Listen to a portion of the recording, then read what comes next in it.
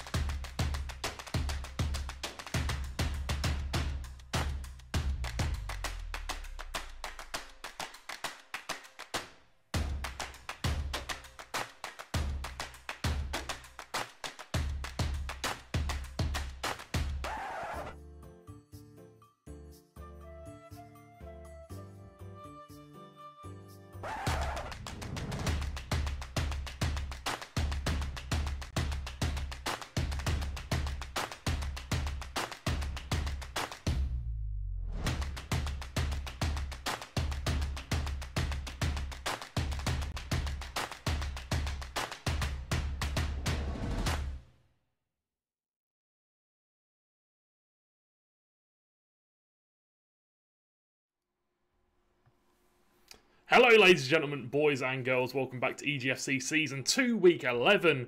I'm joined, as always, by the ever fabulous looking Stan Greyheart Barker. And today we have some fantastic games coming up for you. We've got William and Mary versus St. John's University, Fairfield University versus Niagara University, and then the final game of the day, Marquette versus Xavier. Some absolutely fantastic games coming up. And the first game coming up, we've got William and Mary, who are on a bit of a hot streak at the moment. They are indeed. After uh, coming in from that big win last week that we got on stream, this is uh, my third third time joining you. Both the previous weeks we've only had the two matches to view due to some technical issues. Hoping that we get the full allotment tonight. Certainly will be absolutely cracking. yeah, it would be great to obviously get the uh, the full three games. And if you are a Manhattan fan, your team have a bye tonight due to obviously the uh, the uh, the differences of teams. There's seven teams in the league, so they can't all play in one week. But either way, Naturally. Exactly. But either way, I'm pretty sure we are fairly close to getting to the game. It will be France versus Paris Saint Germain. We've seen that one many a time, and I think Stan's starting to get sick of it already. But I, however, um, uh, I don't mind it. I think obviously it's, it's good to see Neymar and Mbappe play. Um, obviously, heavily in the meta at the moment. So it is decent to see those players playing, but it would be nice to see some, you know, some different sides, maybe some Brazils and stuff like that.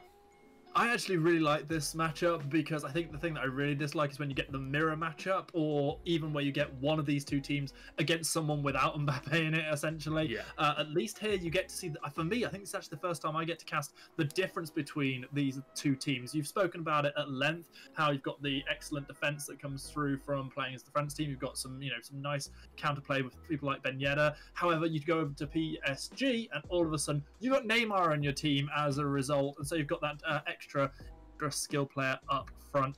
I personally, I've you know still uh, still slightly new to all of this, but I personally have liked what I've seen from PSG, especially over the last few weeks. I think it enables those players who know their skill moves well to really shine. However, this is actually a matchup um, both between William and Mary and St John's, and also between Paris Saint Germain and France that I'm very much so looking forward to. That's very true. It's very true indeed. Obviously, you know, I think the the, the majority of the skill gap this year is the uh, is the skills for sure, and it does show um, that obviously the players know what they're doing when you see them use skill moves that even I don't know how to do.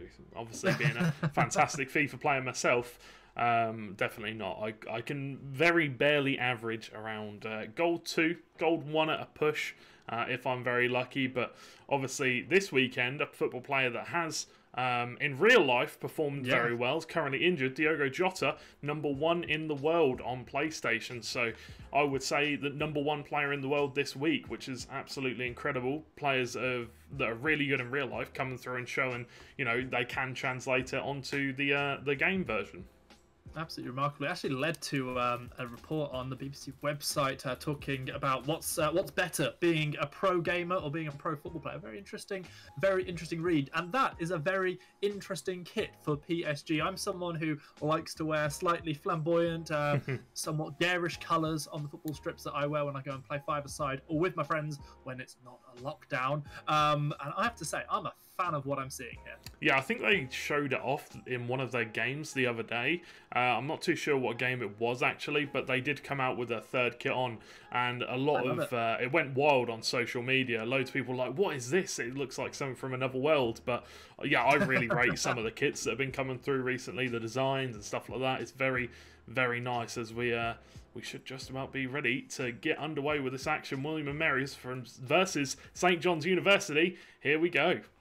Bring you straight into the game. And it says friendly on your screen but i assure you it will be anything but friendly as we see these two universities going up against it here on the big east. And we are underway. Game begins and already france have the ball. Plot twist.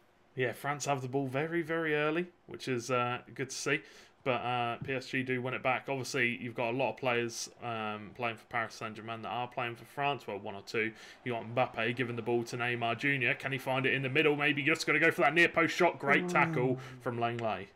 Yeah, breaking up that early opportunity already, seeing some of those skill moves that I was referring to during uh, during the pre-game. Now the opportunity to break down the opposite wing. It's going to be Martial, the Man United striker, of course, in the French national colours. In this game, feeds through Mbappe. The ball is beautifully saved. PSG once again breaking it is end to end at the beginning of this match. Very end to end indeed. And Mbappe going to come straight down the other end, looking for that LB fake shot to maybe use a little bit more of his pace. But Langley does well once again. Very good defending in the uh, in the early early moments of this game from St John's University. St John's University, uh, sorry, William and Mary. St John's University are in the PSG kit, the uh, the PSG third kit in the red. Um, the red indicator above the teams. Is going to be broken up yet again. Some strong defending, as you said, but they're having to do a lot of defending. And as you often see in these top games, the team that has to do the most defending is usually the team the most under threat. The question is, can they make these counter attacks play off? Yeah, it did throw me off guard a little bit. I expect when I when I see the uh, the red indicator, I always think the home team, but it's actually the, the white the white indicator above the, the heads, which is William and Mary. And William and Mary potentially going to get a chance. It's Kylian Mbappe with the first shot of the game, and it's going to go drilling into that bottom left hand corner. There is the celebration, and there is the goal. William and Mary one 0 up here. St. John's being made to rue their earlier um, errors as they got the ball uh, consistently dispossessed from them in the final third. No such mistake comes through from William and Mary. France with the early lead over PSG, but now Neymar Jr. on the counter attack yet again. It's going to be that mixture of Varane and Langley just just dispossessing uh, St. John's every time they step forward. What I will say is St John's, uh, they're the top team in the league. Well, they, they were the top team in the league, um, and I'm pretty sure they're still one of the best teams in the league, um, top of the table at the moment. And it's very interesting to see William and Mary obviously coming into this second half of the season, the uh, the spring split with new players and. Well, something's something's got to be changed in the water because they're playing absolutely ridiculous.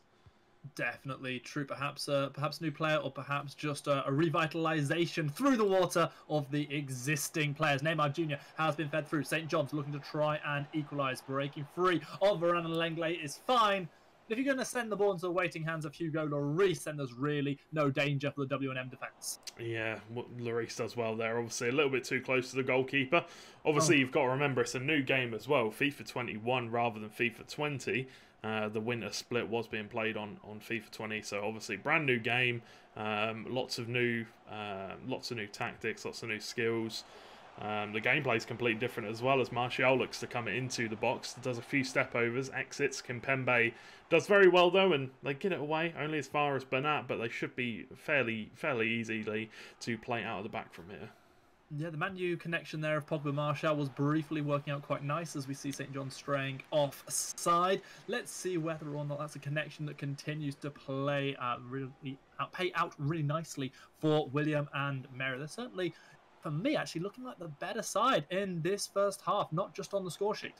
Yeah, William and Mary looking really decent. Um, we'll see if they can obviously get a second goal here as Kimpembe does really well again and ushers Mbappe out of the way so it can roll out for the goal kick. But really, really well played from uh, from the Frenchman there. Obviously, he's not quite broke his way into the French national team yet because you've got Lenglet and Varane at centre back, but he's very young, so I would expect to see him uh, break in there at some point, maybe in replace for Lenglet.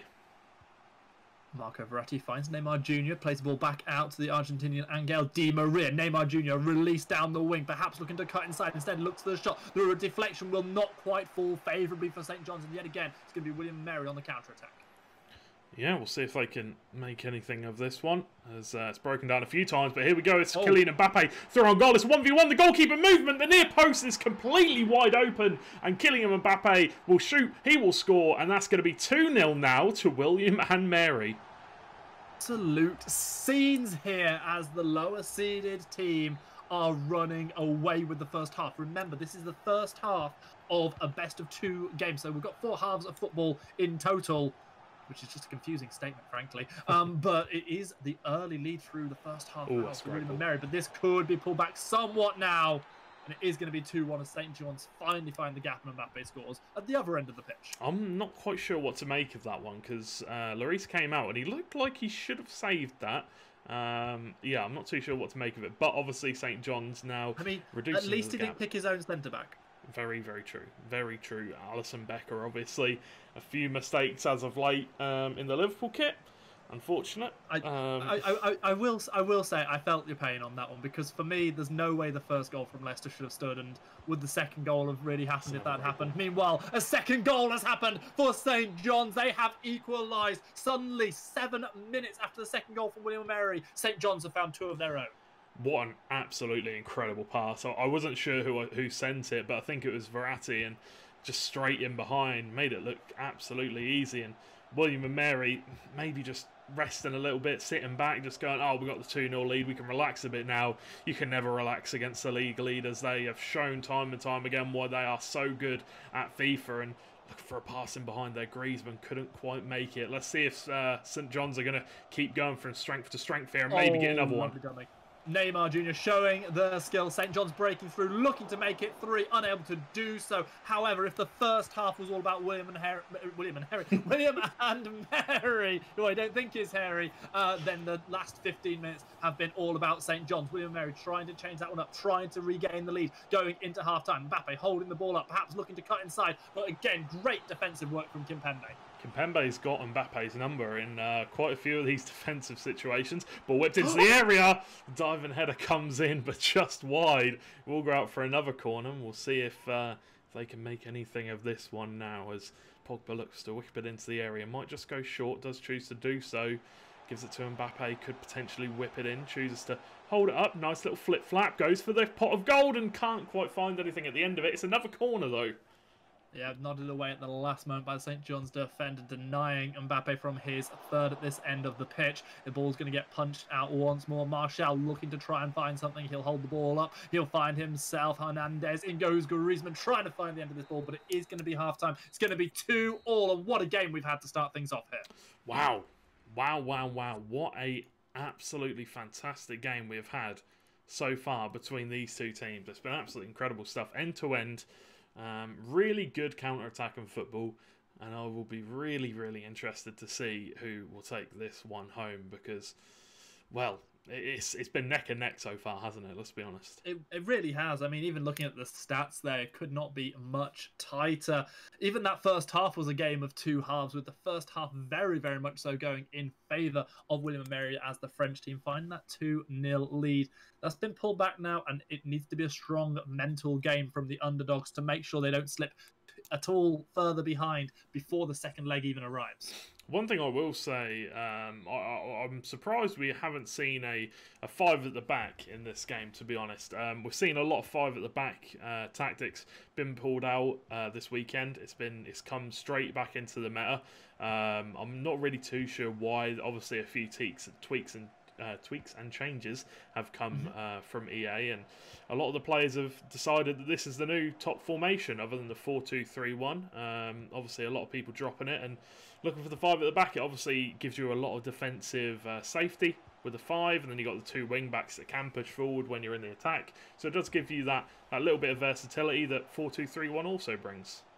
Here's the breakthrough yet again. Mbappe trying to get on the ball under the ball from Griezmann, not able to do so on this one. I must say, I really do like the uh, the amount of small tweaks we get to this game coming from EA. It does feel like it's very much adapt to survive here, and that uh, certainly brings a unique amount of versatility to the game where you get change the formations, even if it's always Paris Saint Germain and France. They're always playing in a different way. The ball breaks into the box. It's cleared yet again by Rafael Varane. Did so well in the early parts of the first half before conceding two goals. We do see Draxler fighting the ball through. Again, Varane makes the ball go straight out of play. Paul's going to come out here by the uh, by St John's University, potentially going to bring on some players. Yeah, I don't think you're bringing Kean on for Neymar or Mbappe. This is the one problem with Paris Saint Germain um, as opposed to France. It's just there's no, not really any decent players on the vent, on the bench. You've got Icardi, but he's just got no pace on his base uh, base player. You know his base stats, so it's a little bit difficult. But talking about you know adaptability is something that I think is the one thing we do see change a lot from year to year with FIFA. That's why we see so many different pro players come through every year because the gameplay changes every year. It's it's, it's a difficult world to be in if you're a pro player trying to make FIFA your your uh, your top game, but obviously it does really really it's really an interesting game to watch because well not every week but every time they bring out a patch there's different tactics that people will use and different little gameplay strategies I, for one, have very much been enjoying what I've been seeing of it in the last few weeks. Verratti finds Mbappe back to Verratti, edge of the D. Mbappe tries to make forwards. Oh, forces the save. Low to the left, diving is Lloris. Beautiful flip flap into the shot. Couldn't quite get the power on it though. Whipped in, cleared away from Lenglet, but should retain the ball here. St John's should be able to pick it back up and look to pick the defence apart again. And they've done it! And it's Mbappe. He's poached the goal in the 60th minute. And that man, he scored so many goals for both sides. And that goal came from well and truly nothing. I think he scored four of the five goals on display here, two for each team. The first 30 minutes. I've said it before, I'll say it again, was dominated by William and Mary. But since then, in the last 13 minutes, they have barely had a sniff of the ball. And the last three goals, all in favour of St John's, who take the lead in this tie. That was just such a good pass and passing with purpose. Every pass was had so much pace on it, but every player knew exactly where the next one was going to be. Neymar giving the ball down the wing. Can he find Mbappe? He should be able to. Can he find the finish? Not this time. Hugo Lloris will get the ball back. Yeah, nice, uh, nice play from Lloris, but he might be called into action again. Mbappe just finds the side netting with that one.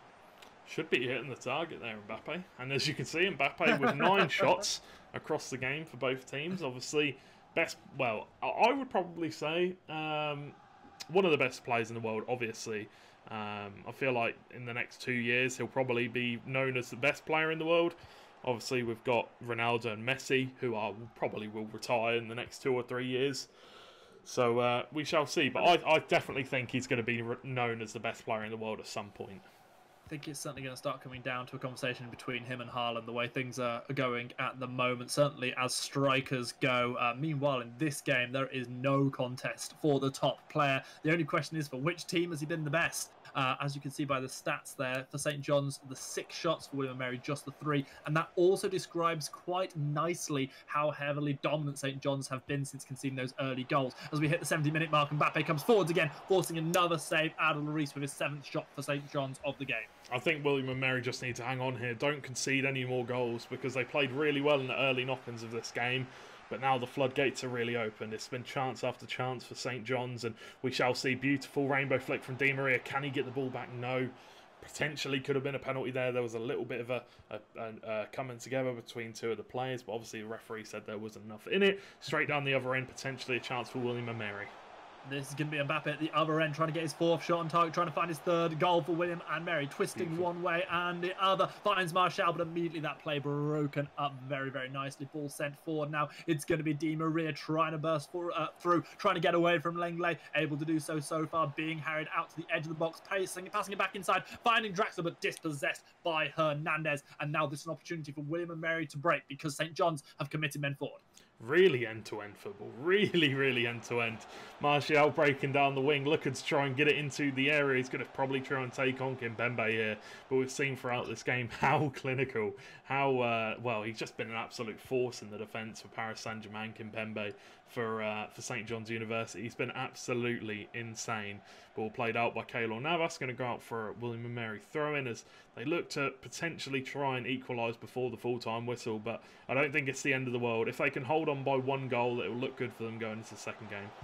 Mbappe finds a bit of space, but closed down again by that man, Kimpembe. And of course, our Right. attention is always towards the players uh, rather than the actual football players. But Neymar Jr. is the one breaking forward, finding a fourth goal for St. John's. You said it was crucial for William and Mary to not concede. They have not been able to do that. They lose out on one in the 83rd minute of this game. Well, we spoke about adapting earlier in the game, and I think that's what St John's have done so well in this one. They came out of the gates, William and Mary, firing, firing everything they had. They were just throwing everything at them, and uh, and St John's obviously have now know what they're going to go for. They've adapted really well, started retaining the possession, slowing things down a little bit. But um, yeah, either way, this has been a really good game, very competitive, which is nice to see. Obviously, last season, or sorry, last split, we we didn't really see that competitive edge from William and Mary. Ball played three Langley intercepts. We saw the competitive uh, side. We didn't really see too much competitiveness from William and Mary. They did struggle. They really did struggle, and it was obviously difficult to watch. But they've looked very good in this game. Mbappe trying to help his team pull one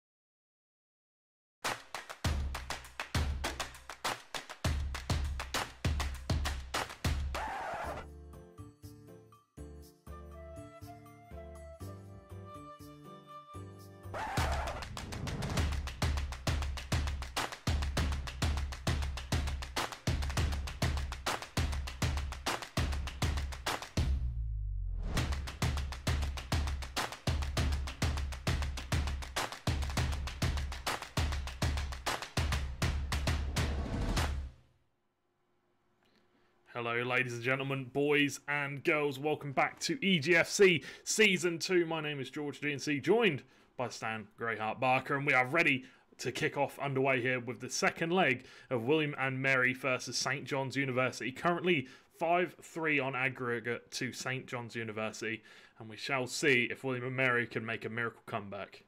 One big change to talk about. We are going to see Barcelona versus France this time in comparison to our PSG France matchup last time. So let's see if Messi and Co can do anything to uh, to stop these French Titans from picking up the win. Already good aggression coming in from this Barcelona team. They find their way into the box, but the break will come. Yes, uh, good start to the game. Nice to see. Obviously, we shall see if William and Mary um, have what it takes to, to beat the well the, the league leaders um, here in this one. It'll be interesting to see. Obviously, blue champs for uh, St John's University. He's the player we do see a fair amount for them, and he's going to make his way into the box with Martial. Going to go for the curved shot. It's going to come out to Kingsley Coman. Great clearance off the line from Jordi Alba, I think that was. Honestly, I really expect to see this French team score there, but denied they were. William Mary the opportunity to break now, trying to find early goals like they did in the first match. They need them with this 5 3 deficit. They do indeed. They need to get a few goals, and it's going to be S. Billy. See if he can. I'm probably not. I'm probably butchering his name completely, but um, either way, you know they, they need to score a couple of goals to get back into this game. So we'll see if they can do that. Obviously, Barcelona, an interesting uh, talking point. Messi comes to the end of his year, but you've still got quite a few decent young players in there. You've got the likes of De Jong, and here's a chance for Kylian Mbappe. Gives it to Kingsley Coman with a shot. Good save from Ander Stegen once again yeah, that's going to be a um, enough for Barcelona to come away with the ball. They're taking a huge amount of pressure, keep losing the ball in their own half. The counterattacks keep calming. This French squad looking so, so strong in the early going. Can they find themselves yet another goal? Put a little bit more breathing distance between them and William and Mary. Look at the aggression coming through from St. John's. They try to just bamboozle their way forwards, and from 25 yards, an absolute belter of a goal. It's that man, Paul Pogba. I'm surprised he didn't come up with a dab, but unfortunately the dab has been removed from FIFA 21. But uh, yeah, it has, it has. So that and the shush got removed. But either way, fantastic goal from Pogba, an absolute screamer, an absolute belter, and uh, three goals down now. William and Mary, unfortunately for them, we'll see if they can do anything here in this game. It's going to be difficult, but it is Coutinho going for that curved finesse shot on the left foot rather than the right. A bit of a difficult angle, but tried to make it work the dramatic clearance coming through there from the French centre back. It has actually led to a nice counter attack. It's going to be Kingsley Coman running through the Barca defence like a knife through butter, finding the back of the net, and suddenly it's 7 3 on aggregate. Oof, oof. This is now. Uh... Yeah, this is going to be a really difficult game for William and Mary Blue Champs. Obviously, um, we've seen him play quite a few times before. Um, he was in the spring split, or sorry, the, the winter split um, the first half of this season. He did struggle quite a few times against some of the bigger players, but so far in this game, obviously not having too much luck. We'll see if he can do anything. Obviously, as we, we get deeper into this game, still got a lot of time left, but he now needs to get four goals just to uh, ju- just to, to tie this one up. Yeah, just to force extra time, and that is a big, big ask for anyone, never mind playing against this St. John's team that have looked so dominant, not just today, but previously in this season. Barcelona are countering, they're trying to find themselves a goal. They want to break the clean sheet. Hugo Lloris standing tall, letting his defence do their work, and they're doing it absolutely fine. Lucas Digne actually find the clearance out near the corner flag. Yeah, the Everton man doing very, very well. Ball whipped into the area, Sergio Busquets obviously another player coming towards the end of his career for Barcelona. Got quite a lot of, you know, players that are looking like they're, you know, starting to come towards the neck end of their career. Obviously bringing in quite a few decent young players. De Jong looking for the long shot. Messi looking for the shot. Can't quite find anything. That wasn't Messi, sorry. I'm not sure who that was. Um, but yeah, you know, they've brought quite a lot of young talent, which is nice to see. But that's the problem with Barcelona at the moment. They really do not have very much money, um, apparently. Kante and Mendy doing enough to uh, to bring the ball out for a corner, corner which is cleared evidently by Hugo Lloris. The ball is won back, however, by Philippe Coutinho as he tries to take the ball inside, gets caught just as he pulls the trigger, but no free kick given. Still wins the header back, still finds Messi, who twists and turns his way into the box, is dispossessed, however. Pulper now the opportunity to lead to a break. Yeah, that's the problem. France on the break, they're so dangerous, they're so destructive. Mbappe on the ball goes for a rainbow flick, a little bit unnecessary maybe, but he doesn't care. Fake shot goes round Jordi Alba, looking to get the ball into the box, but we all know he's not going to whip it into the box. He's going to go for a bit of skills. Might do it this time. Fake shot, good tackle in the end, but it is just currently the uh, the St John Esports show. They are just running circles around William and Mary. Currently, it's it's it's a hard game for them, but we'll see if they can do anything coming forward on this break. No, they cannot. Credit to William and Mary's uh, real defensive positioning on that one because at first it was taxi for Alba, but then he made the clearance. Now it's led to an attack which is broken up yet again by a block, not even bringing Hugo Lloris into action. Counter attack coming through. Kingsley Coman running it down the right wing, finding Griezmann. Went for the 1 2, broken up by that man, Jordi. I will say it's a little bit predictable um, there with Messi. Obviously, everybody knows Messi's left foot is, is the one that you want to get it onto. But there's nothing wrong for using it, getting it on the right foot and just having a punt at the near post. Um, I see it so many times. Players with using Salah, Messi, just trying to force it onto the left foot so they can get a shot off. Just just use it on the right foot. Shoot at the near post. Honestly, a lot of players do like they they underrate it. They don't quite give it the props it deserves. There is a chance here, whipped in, great header, but just hits a side net, and it will be a goal kick for William and Mary can't Killian the Zillion, and right now you can't stop the Killian. It is going to be the breakthrough coming. Griezmann, obviously, on both teams in this game. This time, it's the one with the Barcelona shirt bringing the ball forward. Lenglet managing to dispossess, but does so via a foul. I can't believe you just brought a League of Legends pun onto the FIFA show. I cannot believe really? you've done you can't, this. You can't believe it, really? De Jong with a chance. It is going to go straight into the path of a France player, and now another chance to counter attack. Biscuits does well, but he gets dispossessed, and Piqué wins the ball back once again. One of the, the older players in the team, but one of the players who is uh, obviously very uh, reliable. Would love to see William and Mary pull one back on the stroke of half time, but yet again, the block is so, so good from St. John's, never allowing an inch for these strikers to find the target. Potential for the counter as again we see Alba sliding in, ball's taken around him. Lenglet now trying to do what he can to stop Coman in his tracks. The only thing that stops Coman is his woeful inaccuracy. A little bit unlucky there. Obviously, uh, ball on the bounce. It just went over the bar. A little bit difficult, but the half-time whistle being blown. St John's University currently in the lead by four clear goals. It is looking very, very good for them. Certainly is 7-3 with just one half of football left to play. I am wondering if there is any chance at all for William and Mary really to pull this one back. It doesn't feel great for them, but I do credit the fact they've put up a brave fight. Yeah, obviously you've got to give them props. It's a very difficult game for them. You know, top of the table, they came out fighting um, with the two goals in the early uh, the early stages of the first game. Then they got the penalty. They got another goal back, brought it down to just a one goal deficit.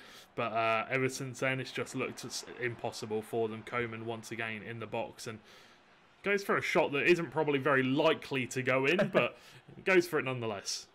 Uh, Kevin's had a few of those this game. Maybe one will nestle at the back of the net by the end of this match. I'm sure William Mary will hope not. They'll be hoping they can find a goal on this counter attack. But yet again, it's not to be. The defence so, so solid from St. John's in this game, really using this French solid defence to an absolute T. But this is an opportunity to break through yet again. The clearance comes through. And Luca Digne, more known for his corners usually than his slide tackling, doing absolute work yeah, he's putting in a shift here in this game, isn't he? The French defence looking very, very good indeed. But obviously, you know, they've got such an insanely good defence. Mendy, Varane, Lenglet, there's just so many players in that defence. Here comes Kingsley Coman coming forward. Can he find the shot? Looks for the fake shot, and it will go out for a corner kick. Corner will immediately be delivered right into the box. Free header almost for Rafa Varane, who will be asking how he didn't do better. Yeah, that's one thing I will say about corners and, and heading in this FIFA. They aren't really the greatest. Um, it's one of those games where you, even if you're in a crossing position, you never really cross it in. You look to go for the skill run kind of thing. But chance for Messi here. Great touch, great shot. But the goalkeeper's done so well. That really should have been a goal for William and Mary. One of the first times Hugo Lloris has been called into action and was not found wanting. Leo finds his shot blocked. Meanwhile, the pressure is being put down by William Mary they try to find themselves something, some way back into this match, but it's just not happening. And the counter attack comes through. Martial just skips past Dest with ease. This is going to be the, uh, the Man United player breaking onto the edge of the 24 yard box. He takes the ball all the way through, pulls the trigger, blocked at the very last second by the Barca defender. And it's actually enough to make it a goal kick.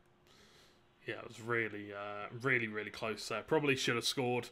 Um, once again, I feel like I'm the uh, the near post police currently because I'm, I'm shouting at players, why didn't you go near post? But seriously, nobody uses the near post. It's so frustrating. Goalkeepers are really, really bad at the near post this year, and it, it, it, I find it difficult to, to watch when people don't use it. But either way, they're winning by so many. I'm, I'm pretty sure they don't they don't really mind too much not scoring it. They're just trying to score some fancy goals. Here's a chance for Leo Messi. Can he score a fancy goal of his own? We'll take it on the right foot, but deflection, corner kick.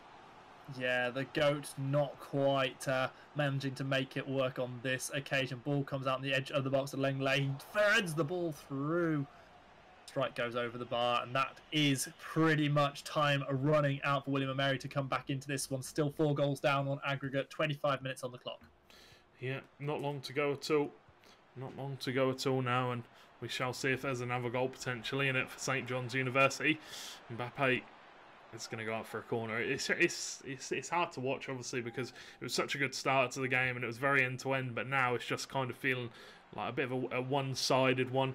Uh, but there is a chance for Pogba there, cleared away though, and Messi now the one-man Messi team. Um, I feel like Barcelona are at this point. Oh my word! What a lovely, lovely strike. That one may be the one that ends this game as a contest. Mbappe, yet again, the 69th a minute, finds a nice goal and is going to make it now. Uh, eight Is that 8 3 on aggregate, I believe? Is- Um, it's uh, it's certainly looking a bit too much to come back from as uh, Piqué fouls on the edge of the box, giving it over. I want to give credit to America's up until that moment they had managed to uh, to not concede in this half of football. They looked even likelier to score potentially. Unfortunately, their defense is broken down there, as we saw by Mbappe yet again. I do feel still like William and Mary have improved a lot this season. Absolutely. um, compared to the last um, the last split, which is obviously uh, really really nice to see. But um, you- when you're coming up against the top team in the league, even if you do improve a lot, you know it's still nice to see the, the, the little wins, the little wins, like taking the 2 0 lead. It's nice to see. Um, not conceding as many goals as you conceded last game and this game. Obviously, we've still got 15 minutes to go, so they could potentially. But um, you know, it's the little victories you've got to take when you are looking to improve and when you're, you know, you're trying to bounce back. But chance maybe to score a goal here. Could have played the ball through. Not this time. Yet again, it's going to be Griezmann running it down this end of the pitch, finding Messi, the header straight into Lloris's arms, and unsurprisingly, as go- uh, goalkeepers tend to do in the modern era, he goes straight to the ground, but he might have to be back on his feet to deal with another attack. Ball is going all over the place, an absolute pinball wizard moment. William and Mary unable to convert it into a goal, however.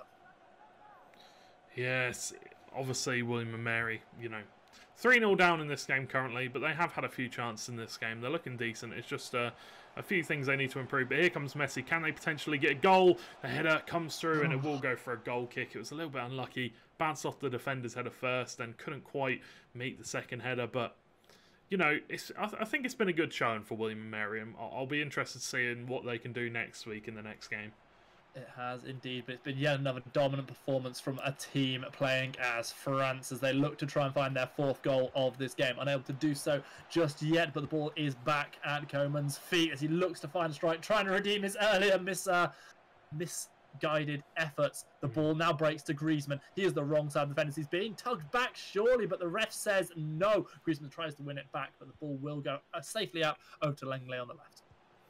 Yeah, exactly. Uh, William and Mary obviously coming up against Xavier next week in uh, the clash of the two teams that needs both need to improve this season.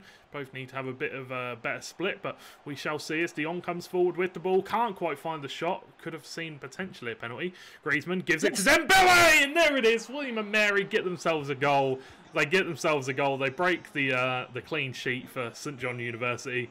Although it's not going to mean too much in the result, it's the little victories. Does no less than they deserve as well in this game to at least make sure they get the one goal and reduce that aggregate deficit somewhat. Absolutely feel it's deserved by them. I do believe St. John's easily deserve to come out victors in this game, but full credit to William and Mary for making it a contest. This has by no means been a complete battering. The chip it's a cheeky one. that's just about denied by Andre Stegen as the ball comes away, but is again dispossessed. It's going to be Kante, the absolute machine, finding Pogba, the slightly more temperamental machine. Well, there you have it. That should just about be the uh, the full time whistle coming in. Obviously, the one goal back for William and Mary. I'm sure they will be very happy with uh, at least getting one goal back.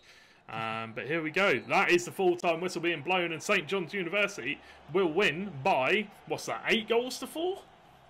Um, what what was the final score in that particular one? Uh, it was five three in the first result. Five three in the first. So, So yeah, eight- you're absolutely eight- right. yeah. Eight, eight Eight. to four, double the goals. Uh, I wouldn't say double the dominance. I do think that uh, William Mary had a really good showing on that one, but full credit St John showing why they're so near to the top of the table. Great performance from them.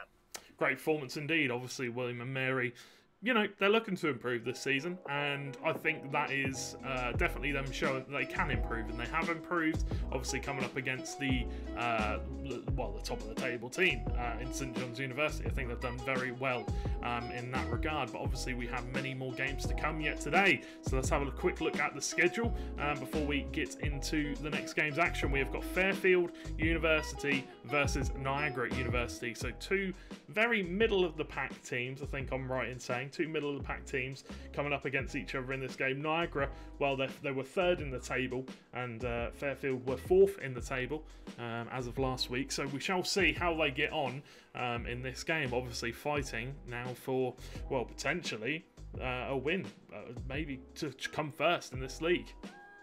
Uh, that will be a good one to watch at the end of the day. We'll get to see Marquette up against Xavier. Um, but for now, I think we get ourselves just a short break to refresh. Am I right? You are right indeed, Stan. So we'll catch you in a few minutes, and we'll be back with Fairfield University versus Xavier. Uh, sorry, not Xavier University, Niagara University. We'll be back in a moment.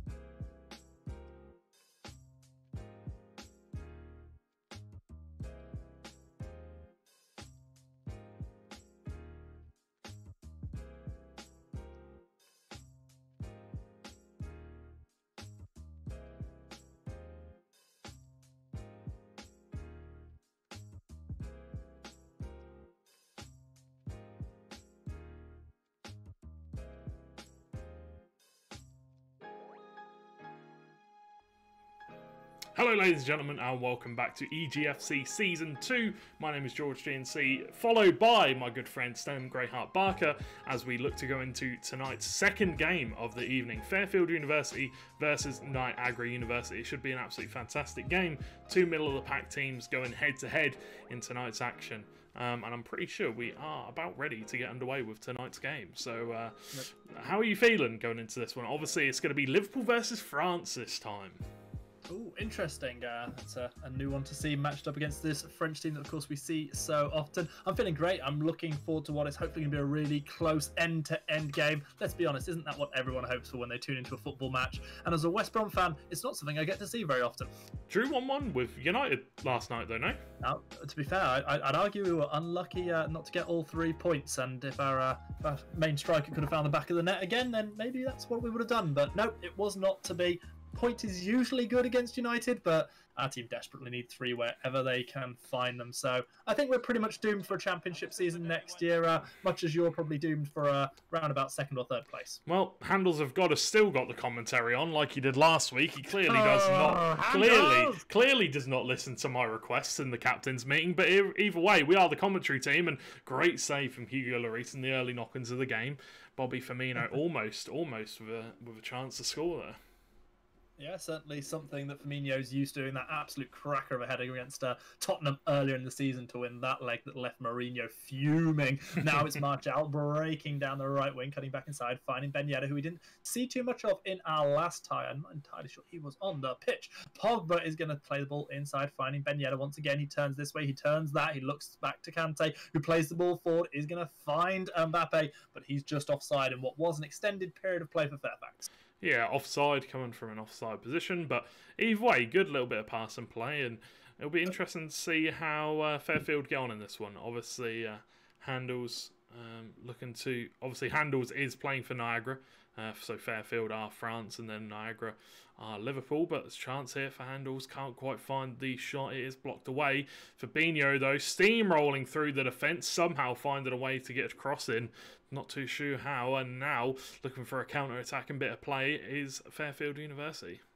Yeah, apologies to Fairfield, who I'm sure will have been none too pleased to have been called Fairfax, but I'll uh, attempt not to make that error uh, again. As we uh, as we do see the uh, the continued play, it's a little bit more cautious than the end-to-end play we saw in match one of the evening. Yeah, for sure, definitely. I, I think it's it's nice to see some a bit of slower football every so often. Gives us a bit of a chance to talk a bit more about the match and what's going on. It also gives the uh, the players a chance to maybe build something a little bit less sloppy. Obviously, with full throttle football, you know, going end to end to end, it does tend to get a bit sloppy. Some of the passes don't tend to get thought about too much. They just throw them in where they can. But here is a chance for Liverpool. Thiago finds Firmino, looks at the shot, it's going to be deflected wide for a corner. You know, I'm on a lot of the, the Liverpool fan pages on uh, Facebook and Twitter, and there's a header. It's going to be Joe Gomez who gets in there, and Fairfield University have taken the lead. They've taken the first goal, and it is one of the most unlikely sources, the Englishman Joe Gomez. What a cracker from Gomez, and what a celebration to match. Well deserved. The Kop goes wild. they do indeed, and um, I can't remember. Oh yeah, so I'm on I'm on quite a few of the Liverpool fan pages and the Liverpool forums, and uh, I can't believe my eyes on some of the things that I see on there. A lot of people saying that Thiago is the problem with Liverpool. Probably got uh, as soon as he come in, we start losing, and, and they're saying all he brings is negative football, passing it back all the time, and I'm, and and talk of Klopp potentially getting the sack, and I'm just oh, absolutely unbelievable. But here is a chance for Kylian Mbappe. Can't quite find the ball roll required to get in behind the defence. My, my dad's a massive Liverpool fan, so I have to have all these conversations on a pretty near daily basis. And I, I have my own thoughts on it, which we'll certainly discuss in a moment. But right now, we've got to pay our attention to the attack coming through as Firmino is so strong here on the ball. Stronger than I've ever seen him in real life. He loops the ball through. It's clawed out the air by Lloris. A second save was not even forced, however, as the follow up header goes just narrowly wide. And by narrowly, I mean massively. That was a country mile wide. I'm not sure what Wijnaldum was doing. It was a it was an open goal. All he had to do was just give it a bit of air, but completely fluffed it in the end. And maybe now's your chance to tell me your uh, your opinions then on on on Liverpool season then. I mean, Klopp is clearly under a huge amount of pressure at the moment, both in terms of results and, and just in personal life as well. I think Yeah. I saw that his, his mother had recently passed, which is obviously a horrendous thing, and maybe maybe he does need a bit of time to just go and reset potentially. Do I think that's the problem? No, if I'm honest, because you know, as we see this fantastic strike coming through, we we've seen obviously that even before that sad news was broken, that Liverpool have been in something of a slump. In fact, since their draw against West Brom, actually, it felt like that slump started. Mm. Um, for me, the biggest problem is that I think a lot of teams have worked out how to play against Liverpool. Um, I don't like Thiago as a as a tackler at all. Like I feel like he's going to get sent off in every match I watch him, but I don't have an issue with his passing. I think he has wonderful creativity, as we're seeing here from France as well. Ball breaks back to them here on the edge of the area, looking for potential shot. Ben Yedder is going to be just hovering, waiting, looking to try and draw a foul potentially, just waiting to pull the trigger, looking for the right opportunity. Will it come? Mbappe, he finds himself an opening, it's going to be one all. Wow, fantastic bit of play from France. Fantastic bit of play from Niagara to find that goal. It was absolutely beautiful. It was absolutely wonderful stuff. The, just a pass and the little bit of uh, the stop and hold the ball, wait for the player to commit, the La Croqueta, pass to Mbappe, the turn, the shot. It was all just picture perfect um, in that situation. And absolutely wonderful stuff as they equalise up in this game. So we shall see if uh, how this game turns out. Obviously, both of these teams very very evenly matched in terms of the uh, the, the, the table, the, the the tournament table, and in terms of uh, both players and teams playing. So we shall see how this one turns out. But one one is currently, you know, what I would say is about right thirty three minutes into the game. Yeah, I agree. The two teams seem to have been playing different styles, with uh, with Liverpool having come out and consistently every time they've got the ball, tried to push forward, aggressive counter attacking. But as you see, France they've opted into a more of a, a slow build up passing maneuver, trying to find the shot, like that one, which almost found a second goal from Mbappe. Very, very close. Very, very almost a goal there from Kylian Mbappe. Obviously, he scores so often, and the volley. Oh, that was absolutely ridiculous from A Griezmann. volley rather than a header. Wow. Yeah, he, he he kind of just put his foot up in the air, and he didn't really put any power on it. He just tried to direct it into the into the back corner, but a little bit unfortunate. It was really nice to see either way. Um, nice bit of creativity and potentially now a chance for Handles of God to put his stamp on the game. Can't quite get the ball, but does win it back with Georginio Wijnaldum. Thiago now just gets run down by Kimpembe. It does indeed, and the passing once again is smooth, fluid stuff from this French team. The one, two breaks open the opportunity for a shot, and the beautifully weighted chip over the head of Alisson is enough to see France take a 2 1 lead. Wow. what a goal from Ben Yedder. What a finish, I think, is the main thing. It was uh, the correct decision making, though, I will say, from uh, from Handles with the. Uh, I, I can't remember what it was. It was uh, Alisson coming out to try and squish the ball down, but he then realised, obviously, he's not going to go for a shot early, so he has to kind of scramble back. Quick check is it Fairfield that are 2 1 up or Niagara? Because I thought it was Fairfield. Uh, no, it's Niagara because uh, uh, hand. Uh, yes, yes. Sorry, it is Fairfield. You are right. These players, these teams are playing the wrong way round. How frustrating! I may be wrong there, so please. Uh, No, you are right. If I've led you uh, up the garden path on that one. Uh, again, the attack comes through. France find the ball the edge of the box. Has been so good with their passing so far. Yet again, Martial finding himself an opening, trying to work a way to shoot. Is going to be. Um, I can't see actually right now. Um, but there we go. We're going to see half time. The half time whistle blown, and it is a tight affair. It's two one right now. I do apologise on that. Um, the, the thing is, the, the teams are obviously uh, set up to to play Niagara away, Fairfield University at home, but um, but they've obviously they've they've gone and, and scrapped that, and Niagara are playing at home. Obviously, we're playing at Anfield, um, so it will be France that are away and Niagara that are home. So. Um, it should I, be I don't think anyone's going to complain at you at all there, George. I certainly will not be. so. It's two one currently to Fairfield University. Just so coming coming back coming back to Liverpool because um you know it's an interesting conversation and for yourself as a Liverpool fan I'd be interested to hear another voice on it. I, I personally feel like Liverpool lack a plan B both in terms of their backup players and also their play style. Um, sure. How do you feel?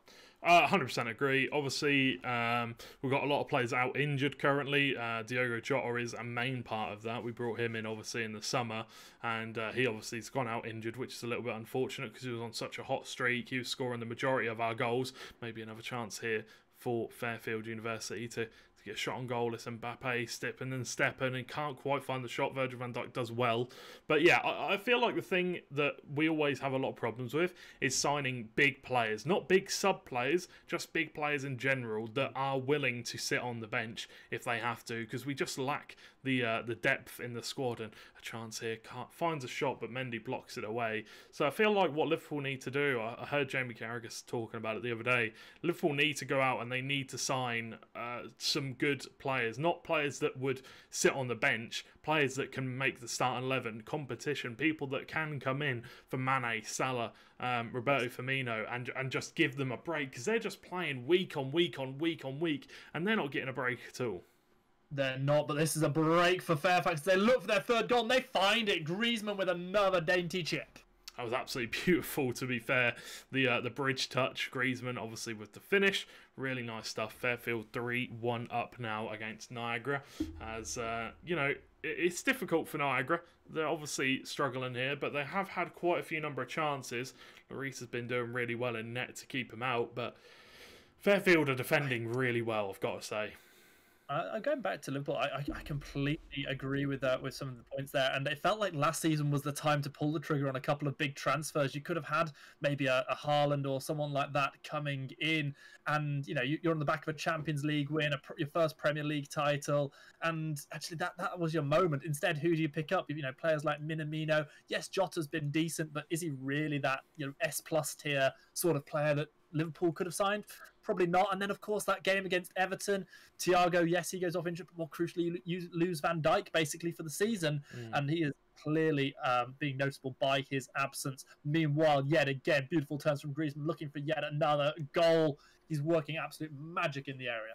I think the problem is, and it's something that a lot of the Liverpool fans wanted to see, is um, Timo Werner come in. A lot of people wanted to see Timo come in, but obviously we didn't have the funds to do it. Now that is a that is a question that I would ask the owners if I could. Is that true that we do not have the funds? Because obviously sounds, you um, see not so much.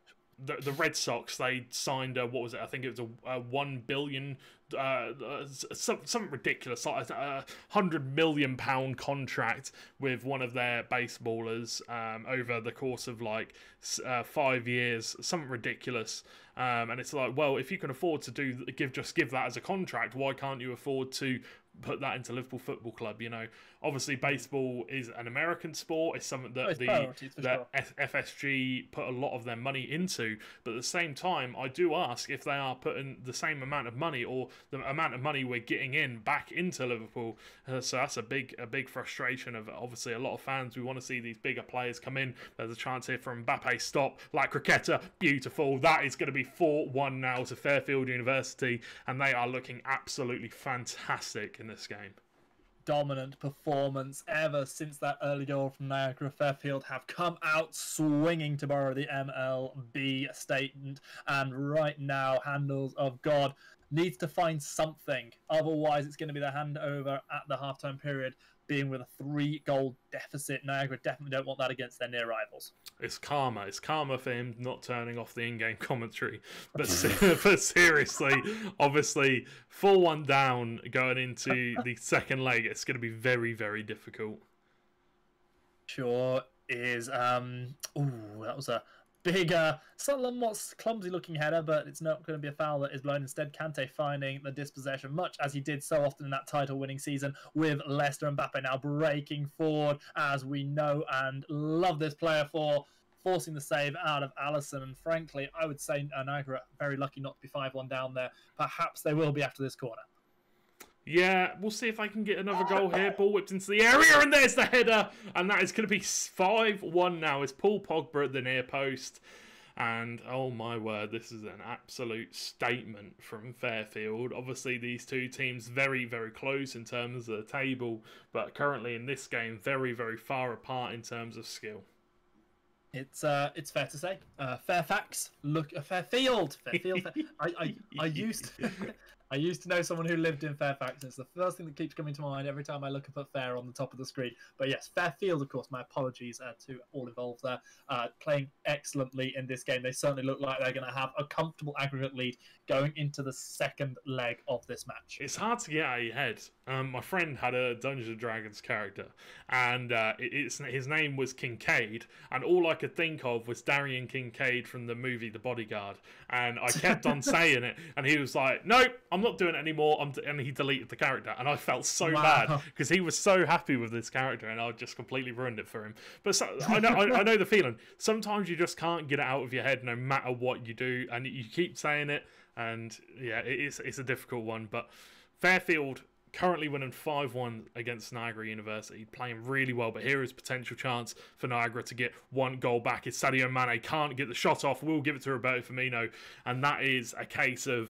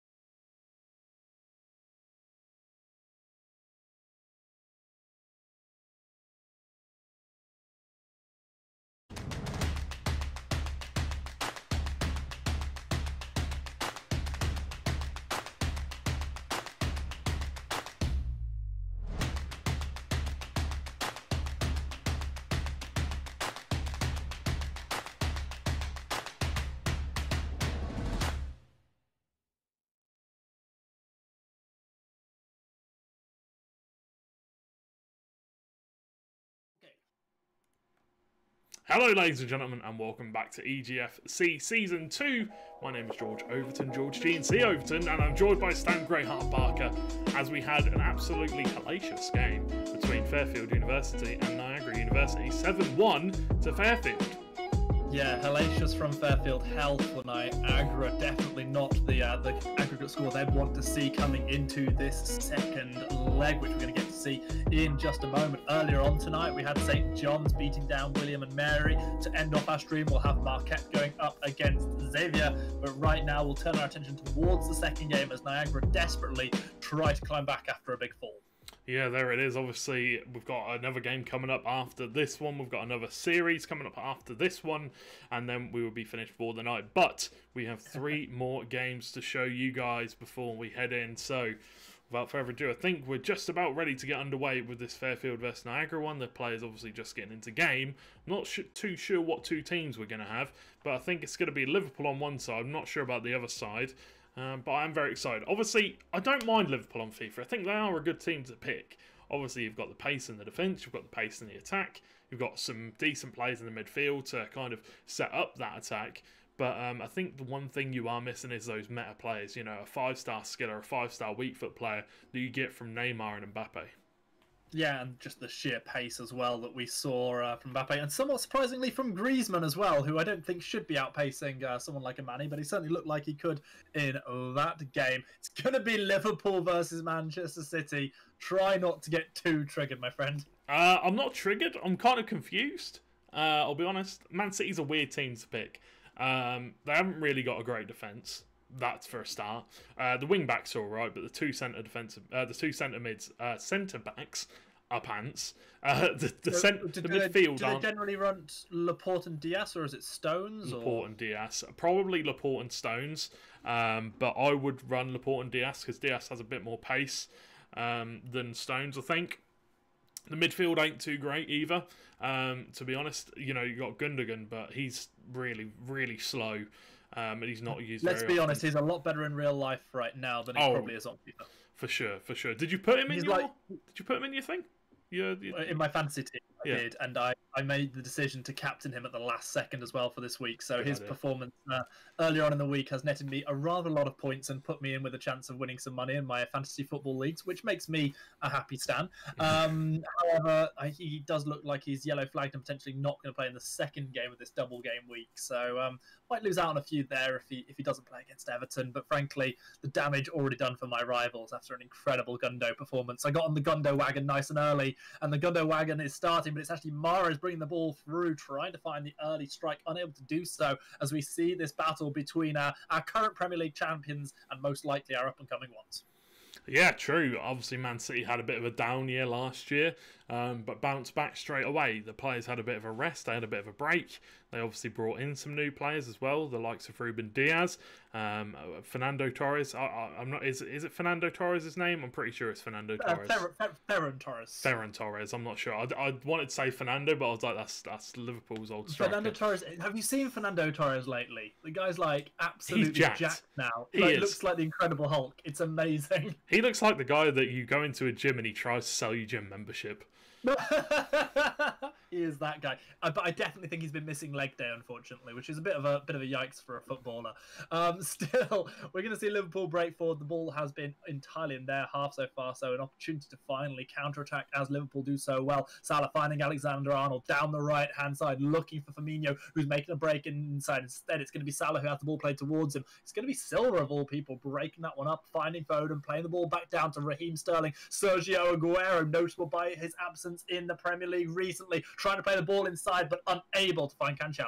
I think that's the one thing about Liverpool again that is quite hard to play with them on FIFA. Um, the one thing Liverpool rely on quite a lot is obviously the wing backs coming forward. Chance here for Foden. Can he get the shots off? One of the best youngsters in the world currently. Can he make his stamp on this game? No. Robertson has done enough, but can he win the ball back? Lovely little flick through the nuts of Robertson, but cannot quite find the the required chance, the required shot as Liverpool look to break down the other end. No.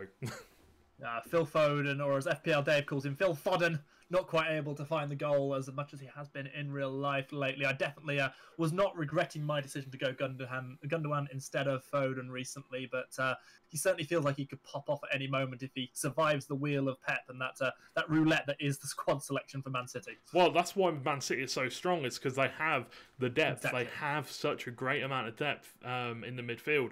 Obviously, you've got De Bruyne, you've got Gundogan, you've got so many decent players. You've got Foden. There are just there there they have heaps and heaps of amounts of players, which makes it so easy for them, and they're all high quality, very very talented players. You know, you've got Gabriel Jesus. He's sitting on the bench or he's playing. You've got Mahrez. You've got Sterling. There's so many. It's absolutely crazy how many good players and what a position for a free kick here.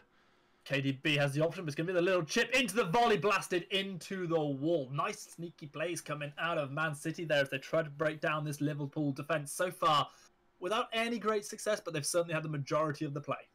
Yeah, definitely. They have had a decent amount of play here as they come into the box. Man City, a little bit of a skill run from Foden once again, and uh, yeah, l- like I said, that's the one thing Liverpool need is they do need that that that squad depth, which they really don't have at the moment. To be honest, you know, we're relying on youngsters Yeah. coming in to, uh, to to rotate for the squad, and that just isn't healthy. Yet again, the breakthrough. Aguero finding KDB, blast the ball straight into the hands of Alisson. I do really like the way that uh, Pep Guard- Guardiola rotates, but I think that you've seen in the last two years the difference between a well-rotated team. Yeah, it's going to be a penalty. I believe that's Gomez giving that one away. Scored in the first game, gives away a penalty in the second, and it's going to be a, a penalty probably to be taken by KDB. Yep, there he is. Uh, Man City struggling with their penalty takers in real life. KDB obviously a bit uh, missing with injury. He always scores his penalties as he does there.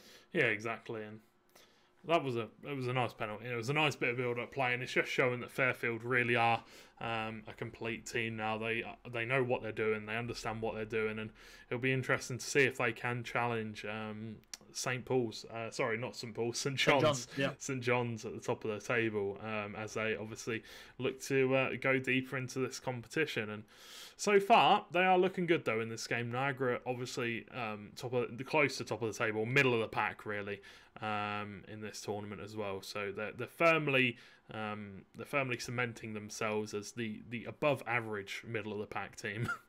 Very true. Uh, yeah, just to, to go back to the, the conversation, because I, I frankly I'm really enjoying this one, uh, but I'll have to pause it for a moment because Liverpool breaking through. Firmino finding himself acres of space on the right, but he cuts instead side straight into Nathan Ake's path. And it is actually Ake at centre back, and he does good work there. Aguero finding De Bruyne. There's so much space out on the right hand side. Riyad Mahrez, another former Premier League winner with Leicester, blasts the ball just wide of, of Alisson's right hand post. That's another thing that I was going to say, but I didn't say. Um, that's the one thing Liverpool do suffer with is on FIFA. Um, obviously, Liverpool in real life they attack with the wing backs coming forward, and if you do that on FIFA, oh, you're going to get so many So holes. space. Yeah, Yeah. so many holes in the back, so much room for players to come through. And as you can see, another another overlap for Mahrez hits the bar. Oh, crossbar. But you know that's just going to happen again and again and again. As uh, how has that not gone Kept out? that's magical that that stayed in, but it does eventually go out. It's for a throw in in the end. One that Raheem Sterling, of all people, will take. Plays it inside. Aguero looking to cut inside out, finds himself a corner. Yeah, Robertson definitely missing in action on those last couple of plays on the left from this Man City attack. They're coming through again, trying to come down the, uh, their left hand side this time. Almost an own goal as the clearance comes through at the last second. Yeah, well played. And it's going to be another corner though for Fairfield. Whipped in, cleared away. It's all. Fairfield at the minute. Oh, it is. It is the most one-sided game I think we've seen in terms of possession and in terms of uh, attacks. I'll be honest. It's just The so fact it's only difficult. to one goal, goal is somewhat shocking, actually. Oh, it is. Oh, it is. There, there should have been more than one. Obviously, Mahrez hitting the bar. Mahrez having a few chances. Foden now on the ball. Can he get in? No, he cannot. We'll go for a goal kick in the end. couple of minutes until half time. But uh, yeah, just to we, we keep getting interrupted by some exciting plays, and that's great because that's obviously what we're most interested in. But, Oh, yeah. uh, and in fact, here comes another one. Riyad Mahrez breaking down the right hand side. He's got company on the inside, chips it beautifully onto Aguero, who buries the ball into the back of the net. Fairfield 2 0. Whew, it's going to be a double digits aggregate game, I think, for Fairfield. Obviously, 2 0 up. They only need one more to make it double digits, and uh, Niagara still sitting on that one goal um, in the aggregate scoreline. Obviously, got the penalty in the first. Oh, sorry, the header from Joe Gomez in the first game, and there is a chance, another chance for Raheem Sterling. Gives it to Aguero. Oh, great hand from. Uh, he almost got a second bite at the cherry as well, but no, the ball goes out of play. It is, I believe, going to be half time. An enthralling first half dominated by Fairfield.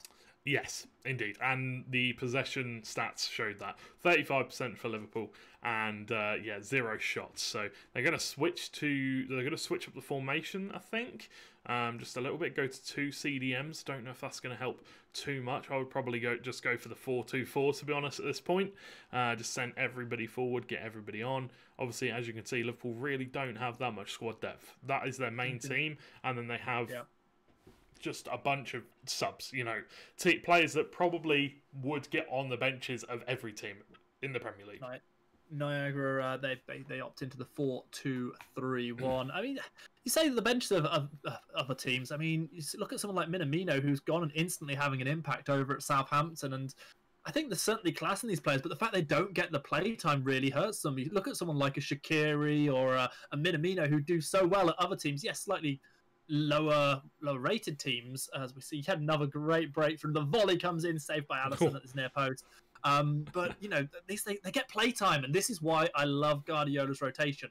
The thing is, and you saw it last year, if you have a really good set of players and they stay fit and they don't have the injuries like you've had to Van Dijk and the like this year, Mm. then actually, yeah, that, that's the sort of team that can actually win a championship. But the second those players are gone and the stand-ins aren't at the quality or haven't got the match experience, that's where you suffer, and that's where Guardiola comes out top with his rotation. Foden finding rotations of his own, jinxing one way, and that does eventually get tackled by Alexander Arnold, his uh, compatriot in um, the um, England under 21s for many years, now in the main squad. Ball breaks to Sterling, who finds Walker on the edge, looks for the shot, but the England right back unable to find the target.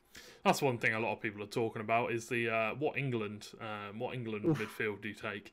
That is a very very uh, difficult question at the moment. Um, in terms of you know the young younger players, um, I I think it was Maddison, Foden, and Grealish. I think were the, the, the like of the younger ones. We're not talking you, you know your Henderson and uh, and as such, but in terms of the younger the, the younger Yeah. lads obviously i think those are the ones that you go for. I think definitely foden needs to have a shout for england. I think maddison and grealish need to be playing for england at this point because they are still you know they're still younger um, and they still have a, a lot of a long way to go in their career. They've still got that longevity Oh, something else. Longevity is the consistent attacks and the finishing from Aguero on the end of it. Fairfield have gone into double figures. They are 10 1 up on aggregate.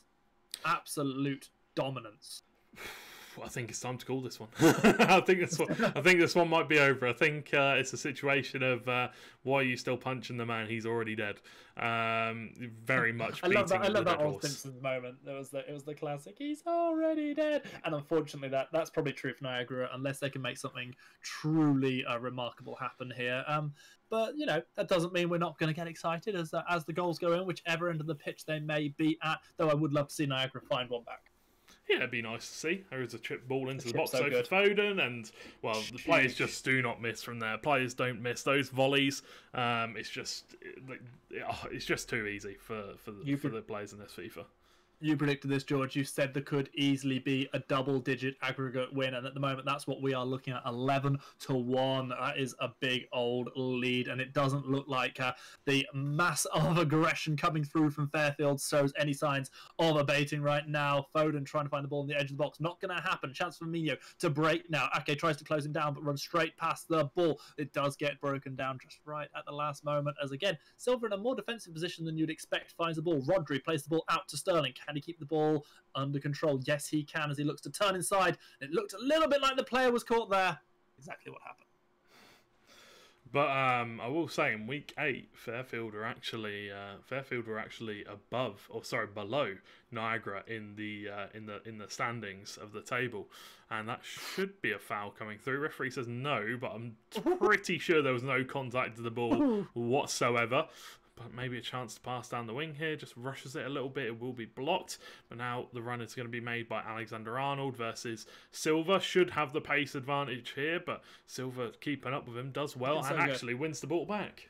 Yeah, Silva has played an astounding game, somewhat slightly out of position, I would argue. Alexander Arnold feeds the ball through, tries to find the header. Firmino is unable to do so, and yet again, counter attack for the side in blue. It's going to be Aguero feeding the ball, uh, sorry, chasing after the ball, fed through for him yet again by KDB. Yeah, it's it's difficult. It's really difficult for Niagara. I, I don't really know what's happened. Whether they've just you know they've come onto FIFA 21 and they're kind of just they don't they don't really like the game. They're not very good at the game. I'm not sure. But uh, Fairfield, who were below them in the standings at the week eight standpoint, and I'm pretty sure, but looking at the the results recently, are still behind them in the standings. Fairfield are just destroying them, dismantling. Yeah, this is um this is seems very much to be sort of men against boys in this game, and at the moment Niagara struggling to to keep a fifth goal out in this second leg. Uh, yet again, De Bruyne with the fancy feet finds himself so much space to shoot. Eventually pulls the trigger just as the defender comes across to block. Again, the opportunity for Wijnaldum and the rest of Liverpool to break. Maybe they can find a goal here in the last ten minutes of this matchup. This looks like a ul- in Ultimate Team terms, weekend league. This looks like a elite two, maybe one player playing against a a gold three player. I'll, I'll be honest, it is it is really big gap um, in terms of skill, in my opinion, in, in, in this game so far. You know, it, out the 30 games you get to get Elite 2 or Elite 1, you need 25, uh, 24, or sorry, 25 or 27 wins. And to get Gold 3, you need 14 wins in total. There is a massive, well, you know, there is a big golfing class, and I don't want to be rude. I don't want to keep saying it, but that is that is just the the the the, the fact in this game. There has been a massive golfing class. I see it in Twitch chat and I see it on the pitch as well. Fairfield have come to send a message. That message is they are absolutely here to play. They are looking to close in on the top spots in this league. And with performances like this one, there's no doubt in my mind that they may well have the ability to. Yeah, I agree. I agree for certain. They are looking really good, and well, it would be interesting to see. There is another chance. It's going to be Aguero. He's going to go for the chip, and it's going to go straight onto the roof of the netting. But that should be the full time whistle. That is going to be 4 0 to Fairfield, and that'll be 11 1 on aggregate. That is your lot. It was um, it was a one-sided affair at the end of the day, uh, which you know not exactly what we want to see. But uh, commiserations to Niagara, congratulations to Fairfield, a real showing of dominance here. Even using this Man City squad, one that isn't something that we maybe see quite so often in these FIFA games. Yeah, we don't see it very often, um, but he's performed well with it here. Maybe not as well as he did in the first game, but he's definitely performed well nonetheless. And that will be a you know a considerable 11-1 win for Fairfield University, which is very nice. But obviously, we've got one more game to come up tonight. It's going to be Marquette University versus Xavier University. It's two of the teams that are, you know, they're doing decently in the league. Both of these teams, Marquette, um, top of the well, second in the table as of week eight, and uh, Xavier University currently sitting on three wins, four losses, and Marquette sitting on six wins and two losses. So obviously a big gap, but coming into the new FIFA, can they potentially pick themselves up some sort of result? Well, we, I think we are going to take ourselves a short break. When we come back, we'll find out whether or not Marquette continue their run of dominance, or maybe XCOM give it to them.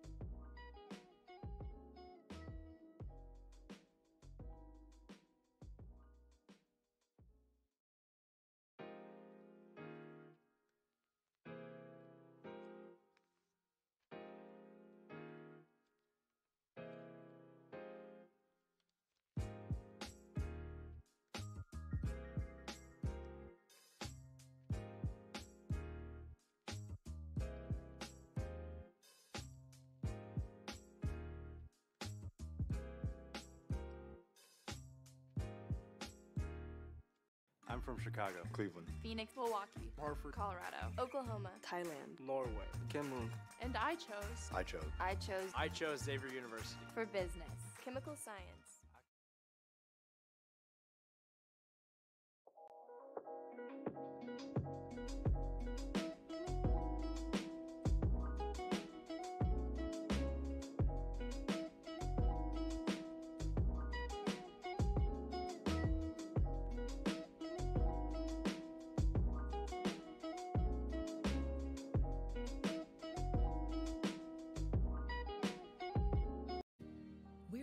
Different here. We don't just get up for another day. We rise. We don't just work, we endeavor. We're women and men for and with others. We have hope, we believe, and we celebrate. Why are we different? so we can be the difference. Hello, ladies and gentlemen, and welcome back to EGFC Season 2. We are here for the Marquette versus Xavier University game. My name is George GNC Overton, joined by Stan Greyheart Barker. They have a fantastic, lushing, uh, luscious looking hair over there. This side, that side, that side. Wow, look at him. Look at him in all his glory. but here we go. We're ready for the Marquette University versus Xavier University game. It should be absolutely fantastic. It's one of the top of the league sides going against one of the bottom of the league sides, but it is a new game. These two teams have not faced each other since the new game has come out, so we shall see if anything has changed, if there are any changes in the players. And uh, yeah, I'm quite excited for this one actually.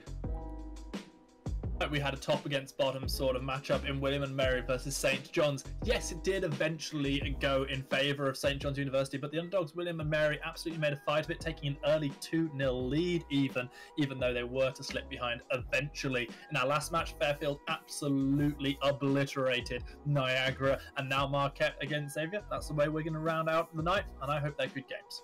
Yeah, I'm excited for it. It is going to be a pretty decent game. We've got some interesting teams coming out as well. It's going to be France versus Bayern Munich. Obviously, France, we do see them quite a lot. Mbappe, Griezmann, Ben Yedder, Kante, Pogba, Lenglet, Varane, Mendy, such insane players on the game. And then we've got Bayern coming in this time. Lewandowski, a bit of a change in pace maybe. Maybe going to put the ball into the box more.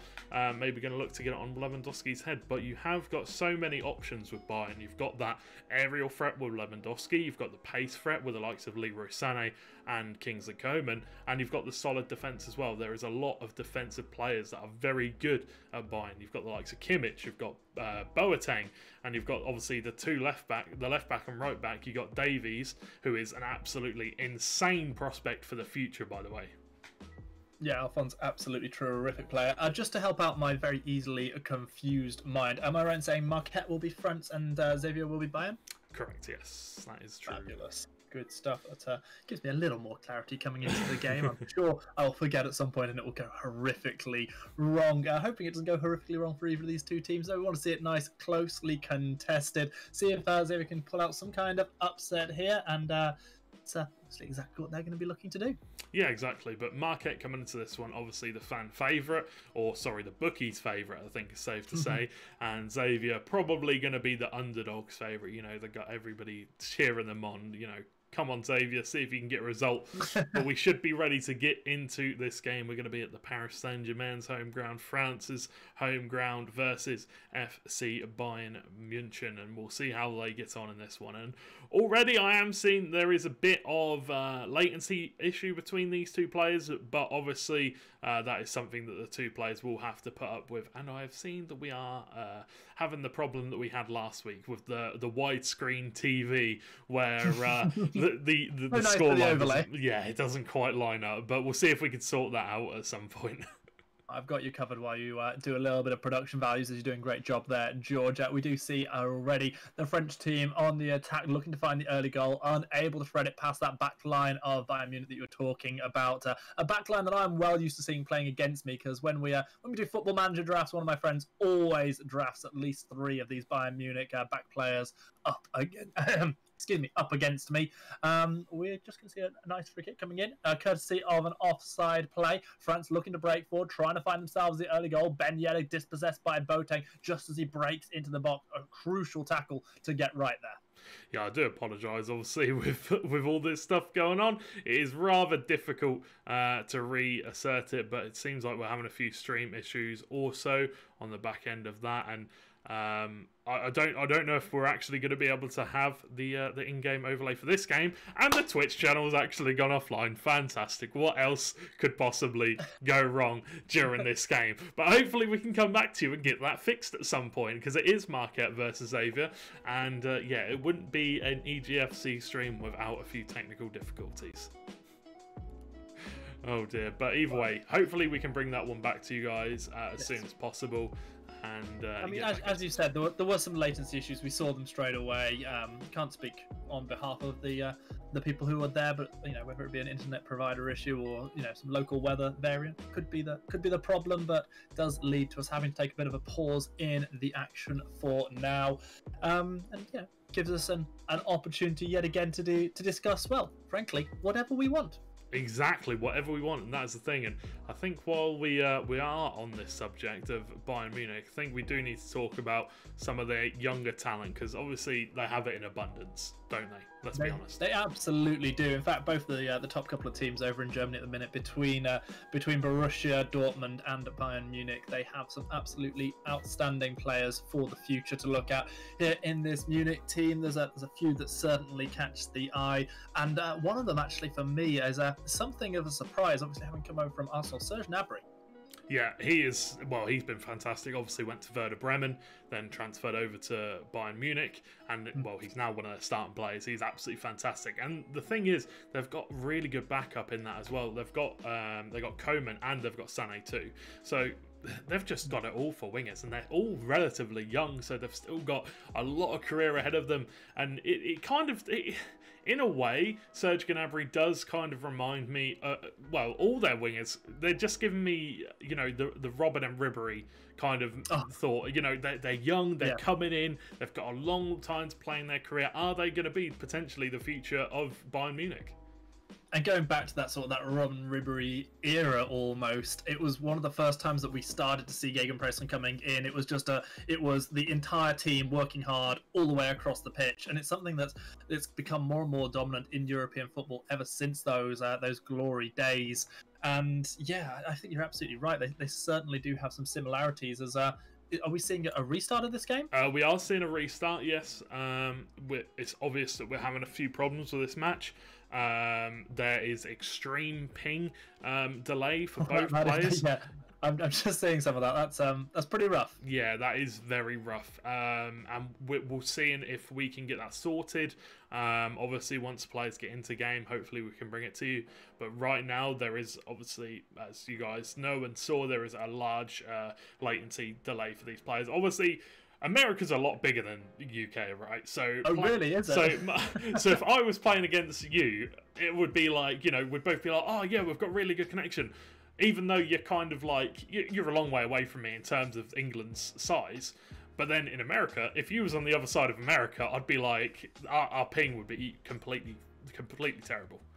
I mean, it says it all that we like we have one time zone and we're only in a tiny fraction of that one time zone, and I think there are six or something like that across the uh, from west to east coast of the United States. So yeah, it's, uh, it's certainly a little bit trickier to deal with there to uh, to get yourselves a good solid connection. I do believe it's just going to be remade with exactly the same teams that we saw last time around. It will be indeed, and it's going to be France, Bayern Munich, and it's going to be swapped around this time. So it will be Xavier playing as Bayern still, and it will be Marquette playing as France. It will just be on the other side of things, and uh, they're just sorting out their players and stuff, and then they will get into game. But we are going to quickly head to a quick break so I can sort everything out, and then we'll bring you straight back into the game's action.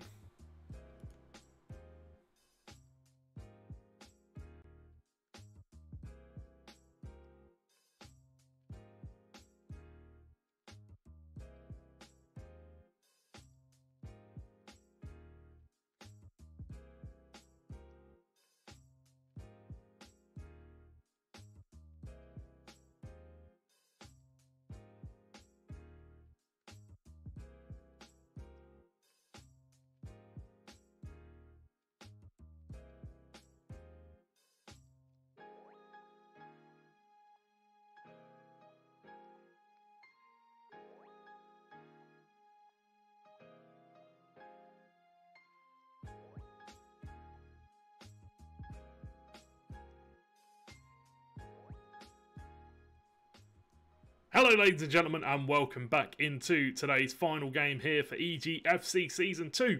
It's Marquette versus Xavier, and we are straight away on the attack. I'm sorry we've brought you right into game. We have had a few little technical difficulties, but it will be Marquette playing as uh, will be playing as France, and it will be Xavier University playing as um, Bayern Munich. But here is an attack for Kylian Mbappe early on in the game, and he's absolutely rifled it into the back of the net. Marquette will be taking the 1 0 lead six minutes into the game. An Mbappe goal on FIFA 21. I've never seen such a thing. Absolutely, uh, absolute scenes. Yet again, it is going to be either France or PSG that dominate the early part of possession, and it is going to be Bayern Munich who now have to fight their way back into this game. It was always going to be a big ask for Xavier uh, for Xavier University, and it's going to get even harder now. It will. It will get even harder for them. It's going to be a very difficult game for them, but we shall see how they get on. Obviously, Marquette very uh, Gratify obviously a very decent player at the game. We've seen him play. There was a big upset between them and William and Mary uh, last week, and uh, we'll see if that can happen again. But obviously Xavier. 1 0 down currently. Kingsley Coman coming forward, gives it to Muller, potentially one of the players of the year. He was one of the, the, the candidates, but didn't get into the team. Gives it to Goretzka, one of the players for the future, one of those many Bayern Munich players for the future. Leon Goretzka has an amazing right foot on him when it comes to long passes, but Thomas Müller wasn't able to use his right foot efficiently and find the back of the net. Mbappe trying to use his left slightly better, but the sliding tackle is enough to prevent a second Marquette goal. Whipped into the area, cleared away by Manuel Neuer. Oh, yeah. Good little bit of uh, good handwork from the German. And uh, still on the attack, though, France. Obviously, Kingsley Coman playing on both sides of the teams today. And Mbappe, how has he found oh. the back of the net there? Oh. How has he found the back of the net? He's absolutely drilled it, and it's gone through every player's legs in that Bayern Munich defence. It's 2 0, and it's Mbappe again. What, what do you think about the teams that opt into not being PSG or France? Is it is it slightly stubborn-mindedness because you've got the opportunity to play any team you want? It's not like you have to own these teams. Everyone gets every team. Is mm. it is, is it questionable in your mind that we don't see just PSG versus France more often? No, I think it's uh, I, I think it's one of the ones where you look at it in, in, in, League of Legends terms, you know, you see a player pick uh, an off meta pick, it's because they think it's strong personally and they have a personal, you know, they, they think it brings something different to the game. Exactly. Mm-hmm. Whereas the likes of Bayern Munich, I still think they're very uh, they're very competitive in terms of playing against France. I would I, if I was asked France or Bayern Munich, which one do you want to play? I would obviously say France, but I would also be like, but I can play Bayern Munich if you want me to play Bayern Munich. They're a good team. They have a very good defence, have a very good attack, but they do not have a Mbappe, who is through on goal once again. Can he find the finish? He goes to the lofted chip and he's put it in the back Beautiful. of the net, and it's a hat trick. 24 minutes into the game, Marquette have a 3 0 lead already. What an outstanding start from Marquette, from Kylian Mbappe yet again. Feels like we say that all the time, and I stick by my point. I think that if this were a real life football match between uh, Bayern Munich and France, I think I'd favour Bayern Munich. You've got the team with full synergy, trained together each day rather than just occasionally. However, of course, the synergies do not work like that in FIFA as Mbappe yet again gets onto the end of a pass from his countryman, finds himself a fourth goal in 28 minutes, averaging a goal every seven minutes in this matchup. Uh, what do you say to that then, John? Um, I'm not too sure, honestly. I think you'll have to give me a minute. Greaves Griezmann taking the shot fluffs it a little bit.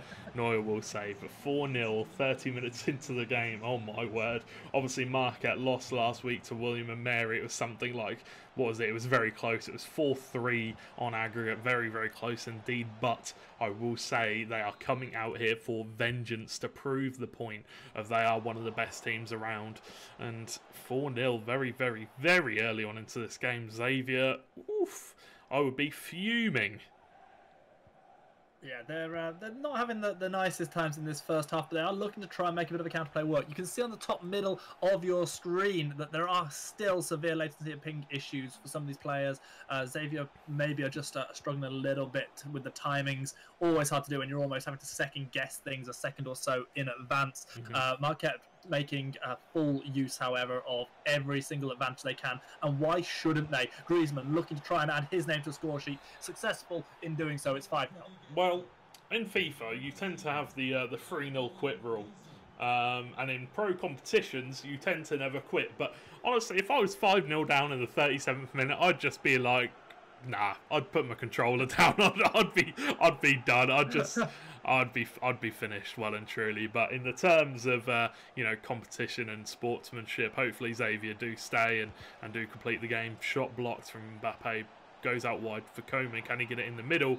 Uh, uh, uh, okay, Yes, six yes, 0 yes, yes, yeah. yeah. And, yes. and- and- and honestly, I think our, our biggest signal for exactly how tough this is for, for Xavier, especially with latency, came in that goal. We barely saw any of that goal because we're seeing things from their perspective.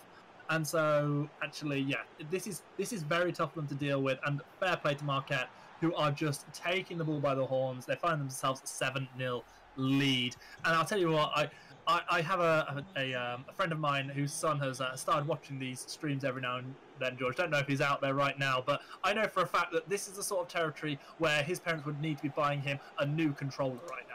Oh yeah, I'm sure. I'm sure, and I would have been like that when I was younger as well. I mean, uh, until Just you know, when you were younger, George. until two or three, uh, pro- potential, I'd say two years ago, I was still smashing controllers up. I was still throwing my controller across the room. My dad would come in and he'd be like, "What's going on?" I'd be like, "I'm losing a game. I don't care. Shut up. I'm Mbappe, eight 0 and it's another goal." uh, that oh dear. That wasn't quite the "How you doing, son" meme, was it? That was No. um, yeah. Yeah, how are you doing, son? Smashes. Well, well, my Get out! in roughly eight million pieces, and I'm swearing at my parents, so not great. I'm guessing. Yeah. Um, that's yeah, that's um, that's dominance. Let's be perfectly honest. Uh, whether it's b- the gap between France and Bayern Munich, whether it's the gap between Marquette and Xavier, whether it's the gap between the internet qualities, I'm not here to say that, but that was an impressive showing. Uh, yeah, yeah, I, I, I'd say that's fair to say. Um, I don't know what level of play uh, Gratify is playing at, um, but it, it's difficult to say because when you're winning eight or nine nil, I would I would definitely put this in terms of a player that doesn't play the game versus a player that you know is at a high level of FIFA. It's it's difficult because eight 0 is such a ridiculous scoreline. I would not expect uh, a gold three player to lose eight or nine nil to a top 100 player. Mbappe somehow misses that, but this is absolutely insane. Oh, yeah, a rare, a rare moment of inaccuracy coming through from the Marquette uh, team there as they find their striker once again in the opposition area. Chance here for Xavier to break. Let's see if they can make a little bit of a play, but nice quick dispossession of Varane, and that's no longer an option. Instead, it's going to be Mbappe once again running at the back line. Does get slightly caught, finds the advantage, will find the free kick. Yeah, it's it's just difficult um, because you know I, I play people all the time that you know uh, a very uh, a high level of the game, you know, and then I, I wouldn't even lose by this amount. But I'm not you know saying that I'm a pro player by any standards, but this is what I would see in terms of you know a, a world class player playing against somebody that hardly picks up the controller. I do not know what Gratify's level of skill is. This is this is just ridiculous. Yeah, and be a huge, a huge amount internet based. I mean, I, I, I can't, I can't say it enough. If you're dealing with a one to two second lag, where you know we're not talking milliseconds, we're talking properly one player's passed, and then actually you're seeing a pass from you know three seconds before. Um, you, you can't deal with that. You can't play in that those conditions. So maybe that's the sort of thing that's that's happening right now for the Xavier man. but both of these both of these players should be dealing with the same that that same that same thing because it's peer to peer. So they should both be struggling with the connection if that were the terms. If it was server based, then it would be one or the other. But it is peer to peer on FIFA Right. still. Ball whipped into the area should be an easy save. But fortunately, uh, no matter how bad your connection is, the AI will still control your goalkeeper for you. Meanwhile, this is an opportunity to test the Marquette goalkeeper. We saw the one claim coming through from, uh, I believe it's Lloris, however, not tested on the second one instead. Just has to test his kicking out, and it's actually going to lead the, the Bayern team to put France in a little bit of trouble. Yet again, they deal with it smoothly, however, as we enter the last half hour of this first leg. Yeah, obviously, uh, this is this is a bit of a mugging. I'll be honest, and it's just it's just outright, um, you know, ruthless. It's ruthlessness. They're not giving up. Uh, Marquette, Gratify. Let's just keep going and keep going. Um, Baby Bolt's obviously already probably come to terms with the fact that this game is not going to be uh, a W. It's looking like an L, but uh, Marquette just keep going and keep pushing and keep attacking, keep scoring goals. It's it's it's demoralising at this point.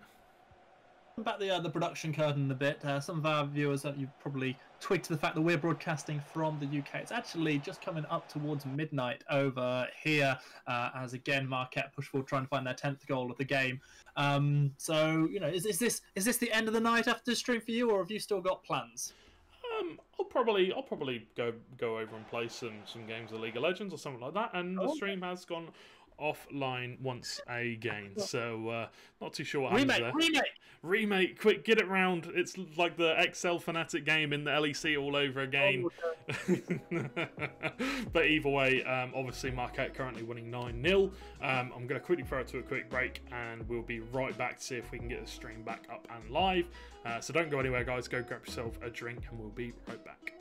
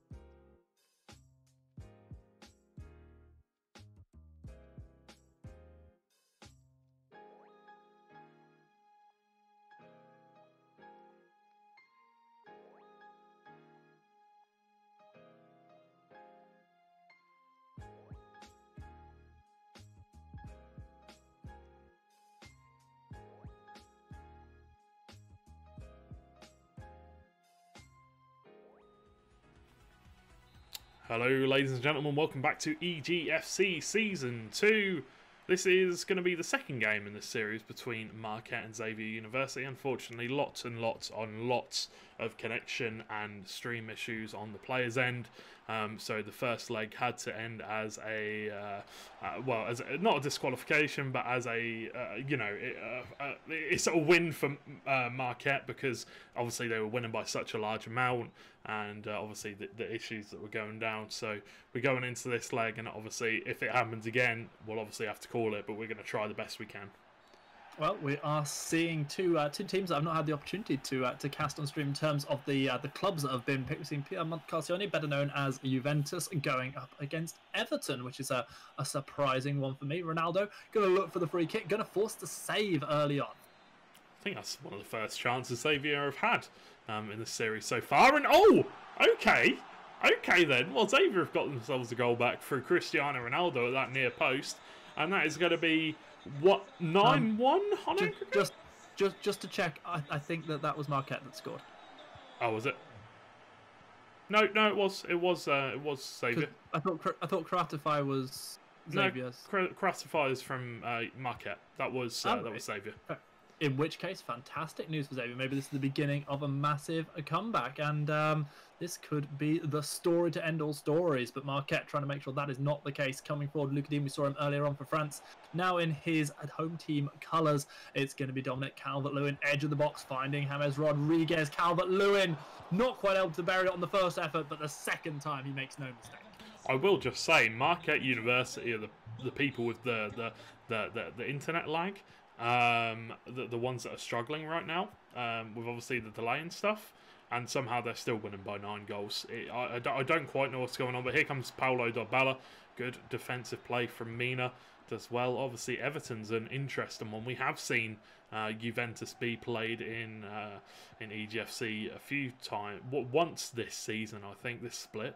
Um, but we haven't seen Everton yet, which is quite interesting to see certain licensing issues, of course. So uh, FIFA not allowed to use the J word, but uh, we are going to see the G word as a goal comes in. It's going to be Allan for Everton. well, there you go. Xavier have got themselves another goal. Oh, sorry, Marquette University have got themselves another goal, and it's going to be baffled. Yeah, exactly. Officially baffled, rattled, but um, yeah, obviously the licensing issues. Juventus belong to uh, belong to PES at the moment. I yeah. think it is.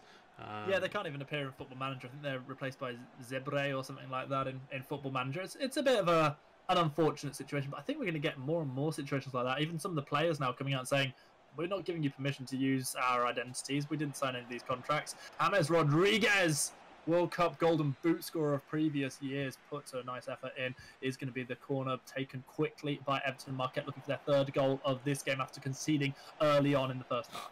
Well, unfortunately, I think it's something to do with the uh, the contracts that the clubs signed to uh, mm, the league and the right. leagues signed to um, to FIFA in order to use the player faces and stuff like that. So, um, not really too much they can do um, apart from that. And there is a chance that will be, be a penalty actually.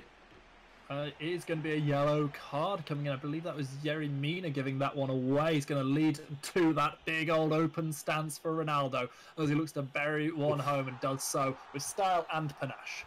With a panache indeed. And there you go, equalising up at 2 2. Obviously, uh, the first game firmly won by Marquette, but we're going to take this um, this leg as a fresh standpoint. Currently 2 2. Uh, the first game was won by 9 0 safely by Marquette. Mm. But um, obviously, this game currently 2 2. Very difficult, obviously, for both teams. But here we go. Bernard running it down the wing, gives it to Calvert Lewin. Has to go back to the core and try and break down this defence a bit further. Could have potentially gave it to Richarlison.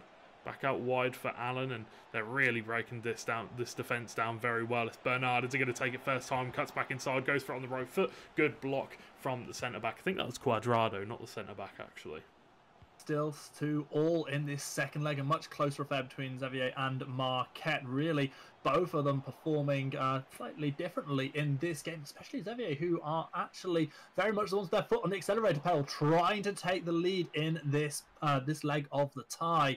Instead, it's going to be the counter attack. James Rodriguez finding my um, he's he's sort of my uh, my boogeyman when it comes to fantasy football. Every time I have him in, he gets injured or doesn't score. Every time Yeah. I take him out, he's incredible. Dominic Calvert-Lewin, I hate you, but in the nicest way possible. I think James Rodriguez is a very special player. It's unfortunate Oh, so he hasn't had the greatest of years with Madrid, and he did pretty decently at, at, at Munich, Bayern, but didn't yeah. really break out there. But at Everton, he's he's been given the chance to shine, and I think he is doing really well for them.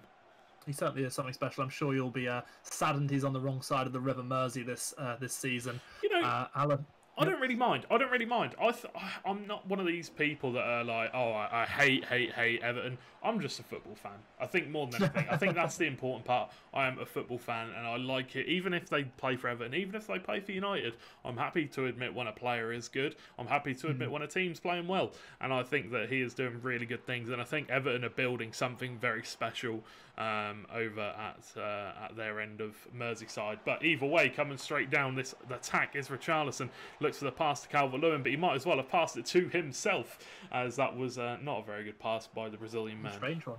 It was almost like a failed bridge without a player in the way. I'm not entirely sure what happened there. It's going to lead to the opportunity for Xavier to counter-attack. However, the ball's played behind for the midfield, and now Dybala and Ronaldo trying to have a little bit of interplay. The ball breaks through, and it is going to be Yerry Mina on a yellow card, but able to make a secure tackle this time round as Ronaldo tried to find the finish. Indeed, they are. And 2 2 coming up to half time. Very, very interesting. It's good to see, though, as uh, much more competitive than the previous game. Obviously, um, providing the teams are a golfing class, so won't lie. But um, obviously, Piemonte Calcio, Juventus, they are not the only team in the uh, in the Serie A that have been um, have been taken out of the game and put into a different game. Roma um, are not in FIFA 21. really? It, they are called they're called Roma FC. Um, it is Roma, but it's not uh, it's not Roma Roma. You know they've got the name. Roma, but not as we know it. I'm pretty sure it's called Rome, not Roma. I, I'm not sure, but I think the stream Original. might have gone down once again. No, no, it has Oh, been no. saved. It has been saved. Thank goodness for that. It's just a little bit of buffering. Um, but yeah, a few changes, um, a switch around at the back, and that's one thing I think Everton need to improve on a little bit is their defence. Obviously, they looked so good at the start of this Premier League season. Um, they were at top of the table at one point, and their fans were saying, "This is the year we're going to win the league finally." Um, but obviously, it didn't last too long. Yeah, definitely. I think it was six games in or something like that. But um, but either way, you know, it was it, it was a good start to the season for them, and I think I think they're going to probably try and fight for top four. It's going to be difficult because they've dropped quite a lot of points recently. I think realistically it's going to be uh, a top six game. I think it's going to be Europa League. That's got to be the aim at this point. Uh, meanwhile, in this game, they're looking to try and refine the lead. Dominic Calvert-Lewin breaks through, and despite the attempted save, it is going to be enough to see a 3-2 lead to the English club. There it is. Very, very nice. A um, little bit of play. Unfortunately, um, Szczęsny could not get enough of a touch on it to keep it out of the net. And uh, we will see the 3 2 lead coming out for Marquette University. How on earth is Wozniak Szczęsny the Juventus goalkeeper? It's that that baffles me if I'm honest. What is that? Um, that baffles me even more. That's going to be a terrible, terrible Alisson-esque mistake. 4-2 to Everton. I can't believe you just said Alisson-esque mistake. I, I, a lot of people are forgetting he is still he was. Well, he he was one of the best keepers in the world. He might be having a bad season, but he was still one of the best keepers in the world. I think people. I think he still is. I think he still is as well, but he's just having a few a few hard games, a few mistakes. Obviously, the dressing room's probably a difficult difficult place at the moment, but um, obviously, like you say, here is a chance for Arthur running through on goal. The strike, great save from the Everton keeper Jordan Pickford.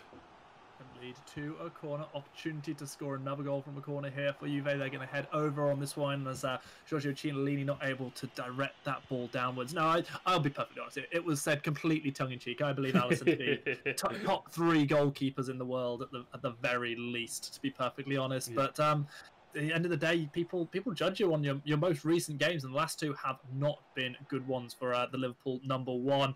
Uh, that being said, I thought it's very very unfortunate. I think that's that lack of communication with the new centre back that uh, that caused that uh, that absolute howler on the last weekend. Oh yeah, for sure. And one thing I do want to come back to, I want to pick your brain on why you find it surprising that Szczęsny is Juventus's goalkeeper. I mean, I don't think he was up to standard when he was at Arsenal, which are a team that I generally consider to be worse than Juventus. So to see him at He's one of the top teams in Italy, do you think so? Yeah, I, I think 100%. I, I mean, just watching, uh, obviously he, he, he moved. I think he moved around quite a bit since uh, he left he left Arsenal. There was a chance though, can't quite put it in the back of the net. In the back of the net, and it's not. I think it was Kulusevski. I don't know how to pronounce his name. Um, I think he's Ukrainian. Oh, man, I, I really wanted that to lead to a goal. that was a lovely passing manoeuvre. As we talked about goalkeepers, it was um, Look Allan go. Uh, under a bit of pressure now as Allan breaks through. Lovely sliding tackle comes in. Buys enough time for Alex Sandro to find Arthur, but yet again, Richarlison passing the ball inside the two um, South Americans, linking up with other beautifully. Rodriguez showing his class as he tucks the ball inside the net after tucking inside the net. Well, there it is. It's Rodriguez, that man we spoke about, the man we love to hate and we hate to love, um, scoring another goal. And well, it's it- it's been uh, very well played from from Marquette. Obviously, aside from the the connection issues, um, Xavier obviously struggling quite heavily. But um, you know that's something they've had all season. They've been struggling to to get any any firm standing in the league. And another shot coming out from Bernard, quite saved by Szczęsny. And now they look to build out from the back and potentially get themselves an attack. I mean, Juve are a team. So going back to your earlier question, that I always think of. I I think of them as a roughly top ten teams in Europe, generally speaking. And I don't consider Szczęsny to be a top ten goalkeepers in the world, and that's why it surprises me, to be perfectly honest. But you know what? He's he's certainly having a fairly decent showing in this game, having uh, done much better in this second half. I don't want to say who is your top 10 keepers in the world because that's obviously a very difficult question, but Uh, I mean, I'll give you top three, nice and uh, well, top two for sure. Neuer and Alisson right Yeah. now. Um, I can say that without hesitation. really, Neuer and I, I would, uh, this very moment, I would say Neuer and Stegen. I, I, I would put Ter Stegen in my top ten. Not sure he'd make my top five. Um, I know he's had a couple of shaky moments, but I think, still think David De Gea is top five. Um, but right now we've got to talk about uh, the Everton keeper. I think it's Jordan Pickford having to make a save and doing so. I don't know about that. De Gea's still been top 10. I think I, ever since Spain lost the World Cup, uh, well, he had a poor World Cup with Spain. I can't remember how long ago that was now. That was like, what, four years ago? Three, four years ago now? Um, no, I think uh, yeah, maybe coming up to three years. I think. Yeah, So it- two and a half years. Yeah. Oh my, that he had he had a, a bad time, and ever since then he has been awful. You see, again, I, I, I personally I disagree with that, and I think it comes back to what we were saying about Alisson. He's had two bad games in much the same way that David De Gea had probably three bad games at that World Cup. And at the moment, people will be thinking of Alisson from his current mistakes, and David De Gea, I think, actually mostly pretty steady. I don't rate the back four in front of him, and Man still keep a decent number of clean sheets. So, yeah, I still Uh, think he makes a lot of mistakes. I think that's the, the issue I have with him. Whenever I watch a Man United game, which isn't very often, I always seem to see him making, you know, uh, quite a lot of mistakes. The thing I don't like about De Gea is that he keeps Henderson out of the team. I wish Henderson had gone back on loan to someone like a Sheffield United because he was absolutely phenomenal with them last season. Was developing so well as a player, and he's basically been a cup keeper this year, which um, Yeah. is, is is less than I believe he deserves. I Um, agree. In terms of Premier League keepers right now, you can't look past Emi Martinez. I mean, you've got to say Arsenal kept the wrong keeper there. I think. I agree. 100% I agree. Obviously, it's a lot of pressure on Arsenal because um, they bought Leno. Ooh. They bought Leno for a fair amount of money. I'm pretty Yeah. sure, um, something like 20 million, I think it was. Um, so you know, it, it, they're in a lot of pressure to keep him. But I personally think they, yeah, I agree. I think they've kept the wrong goalkeeper. But I think that's where you can have respect for. I mean, personally, I don't have respect for a lot of the transfer dealings that Chelsea do, but they've spent, I think, a world record amount on a keeper in Arrizabalaga, who was frankly absolutely garbage at times. um, and they went, okay, it's not working. Mendy, in you come. And even Mendy, I don't think is going to be their um, their final solution to that one. So at least they sort of looked and went, yep, messed up on that one, as big as the transfer was, and they sort of there they've they've corrected that one. And I think that the same probably needed doing for Arsenal, but didn't. But you know what? Mikel Arteta knows a hell of a lot more about football than I do, so let's give him uh, let's give him credit. He knows what he's doing. Yeah, same for me, same for me. But there is the end of the game. Fantastic result for Marquette University. They've done really, really well in there. I think that's 14 2 on I believe uh, so. overall now as we head back in here and we're going to look to wrap things up today. But a 14 2 result for Xavier against Marquette did really well. We'll quickly go over the scores once more from today's games. So we had William and Mary versus St. John's University. St. John's University picking up the win 8 4. And we had Fairfield versus Niagara. Fairfield picking up the win. I think it was 10 1 or 11 1 um, in the end. And then obviously Marquette versus Xavier. Marquette picking up a, a tidy 14 2 victory. It's kind of crazy to say. Um, but in total, what a fantastic week it has been. Obviously, aside from the last game having a few uh, minor connection issues, what a fantastic game. As always, Stan, thank you very much for joining me, Mr. Greyheart. You can follow him at Greyheart99 on Twitter. You can also follow me at George Overton underscore on Twitter as well. And as always, guys, hopefully have a lovely rest of your week. Big, big thank you to EGFC, obviously, for putting this tournament on. EGF. Um, hopefully, you all have a lovely rest of your evening. And remember, come back for next week's Monday action. I think we have Super Smash Brothers on tomorrow, um, so make sure to come back for that. But other than that, ladies and gentlemen, have a lovely rest of your evening. Have a lovely rest of your week, and we'll catch you next week for some more FIFA action.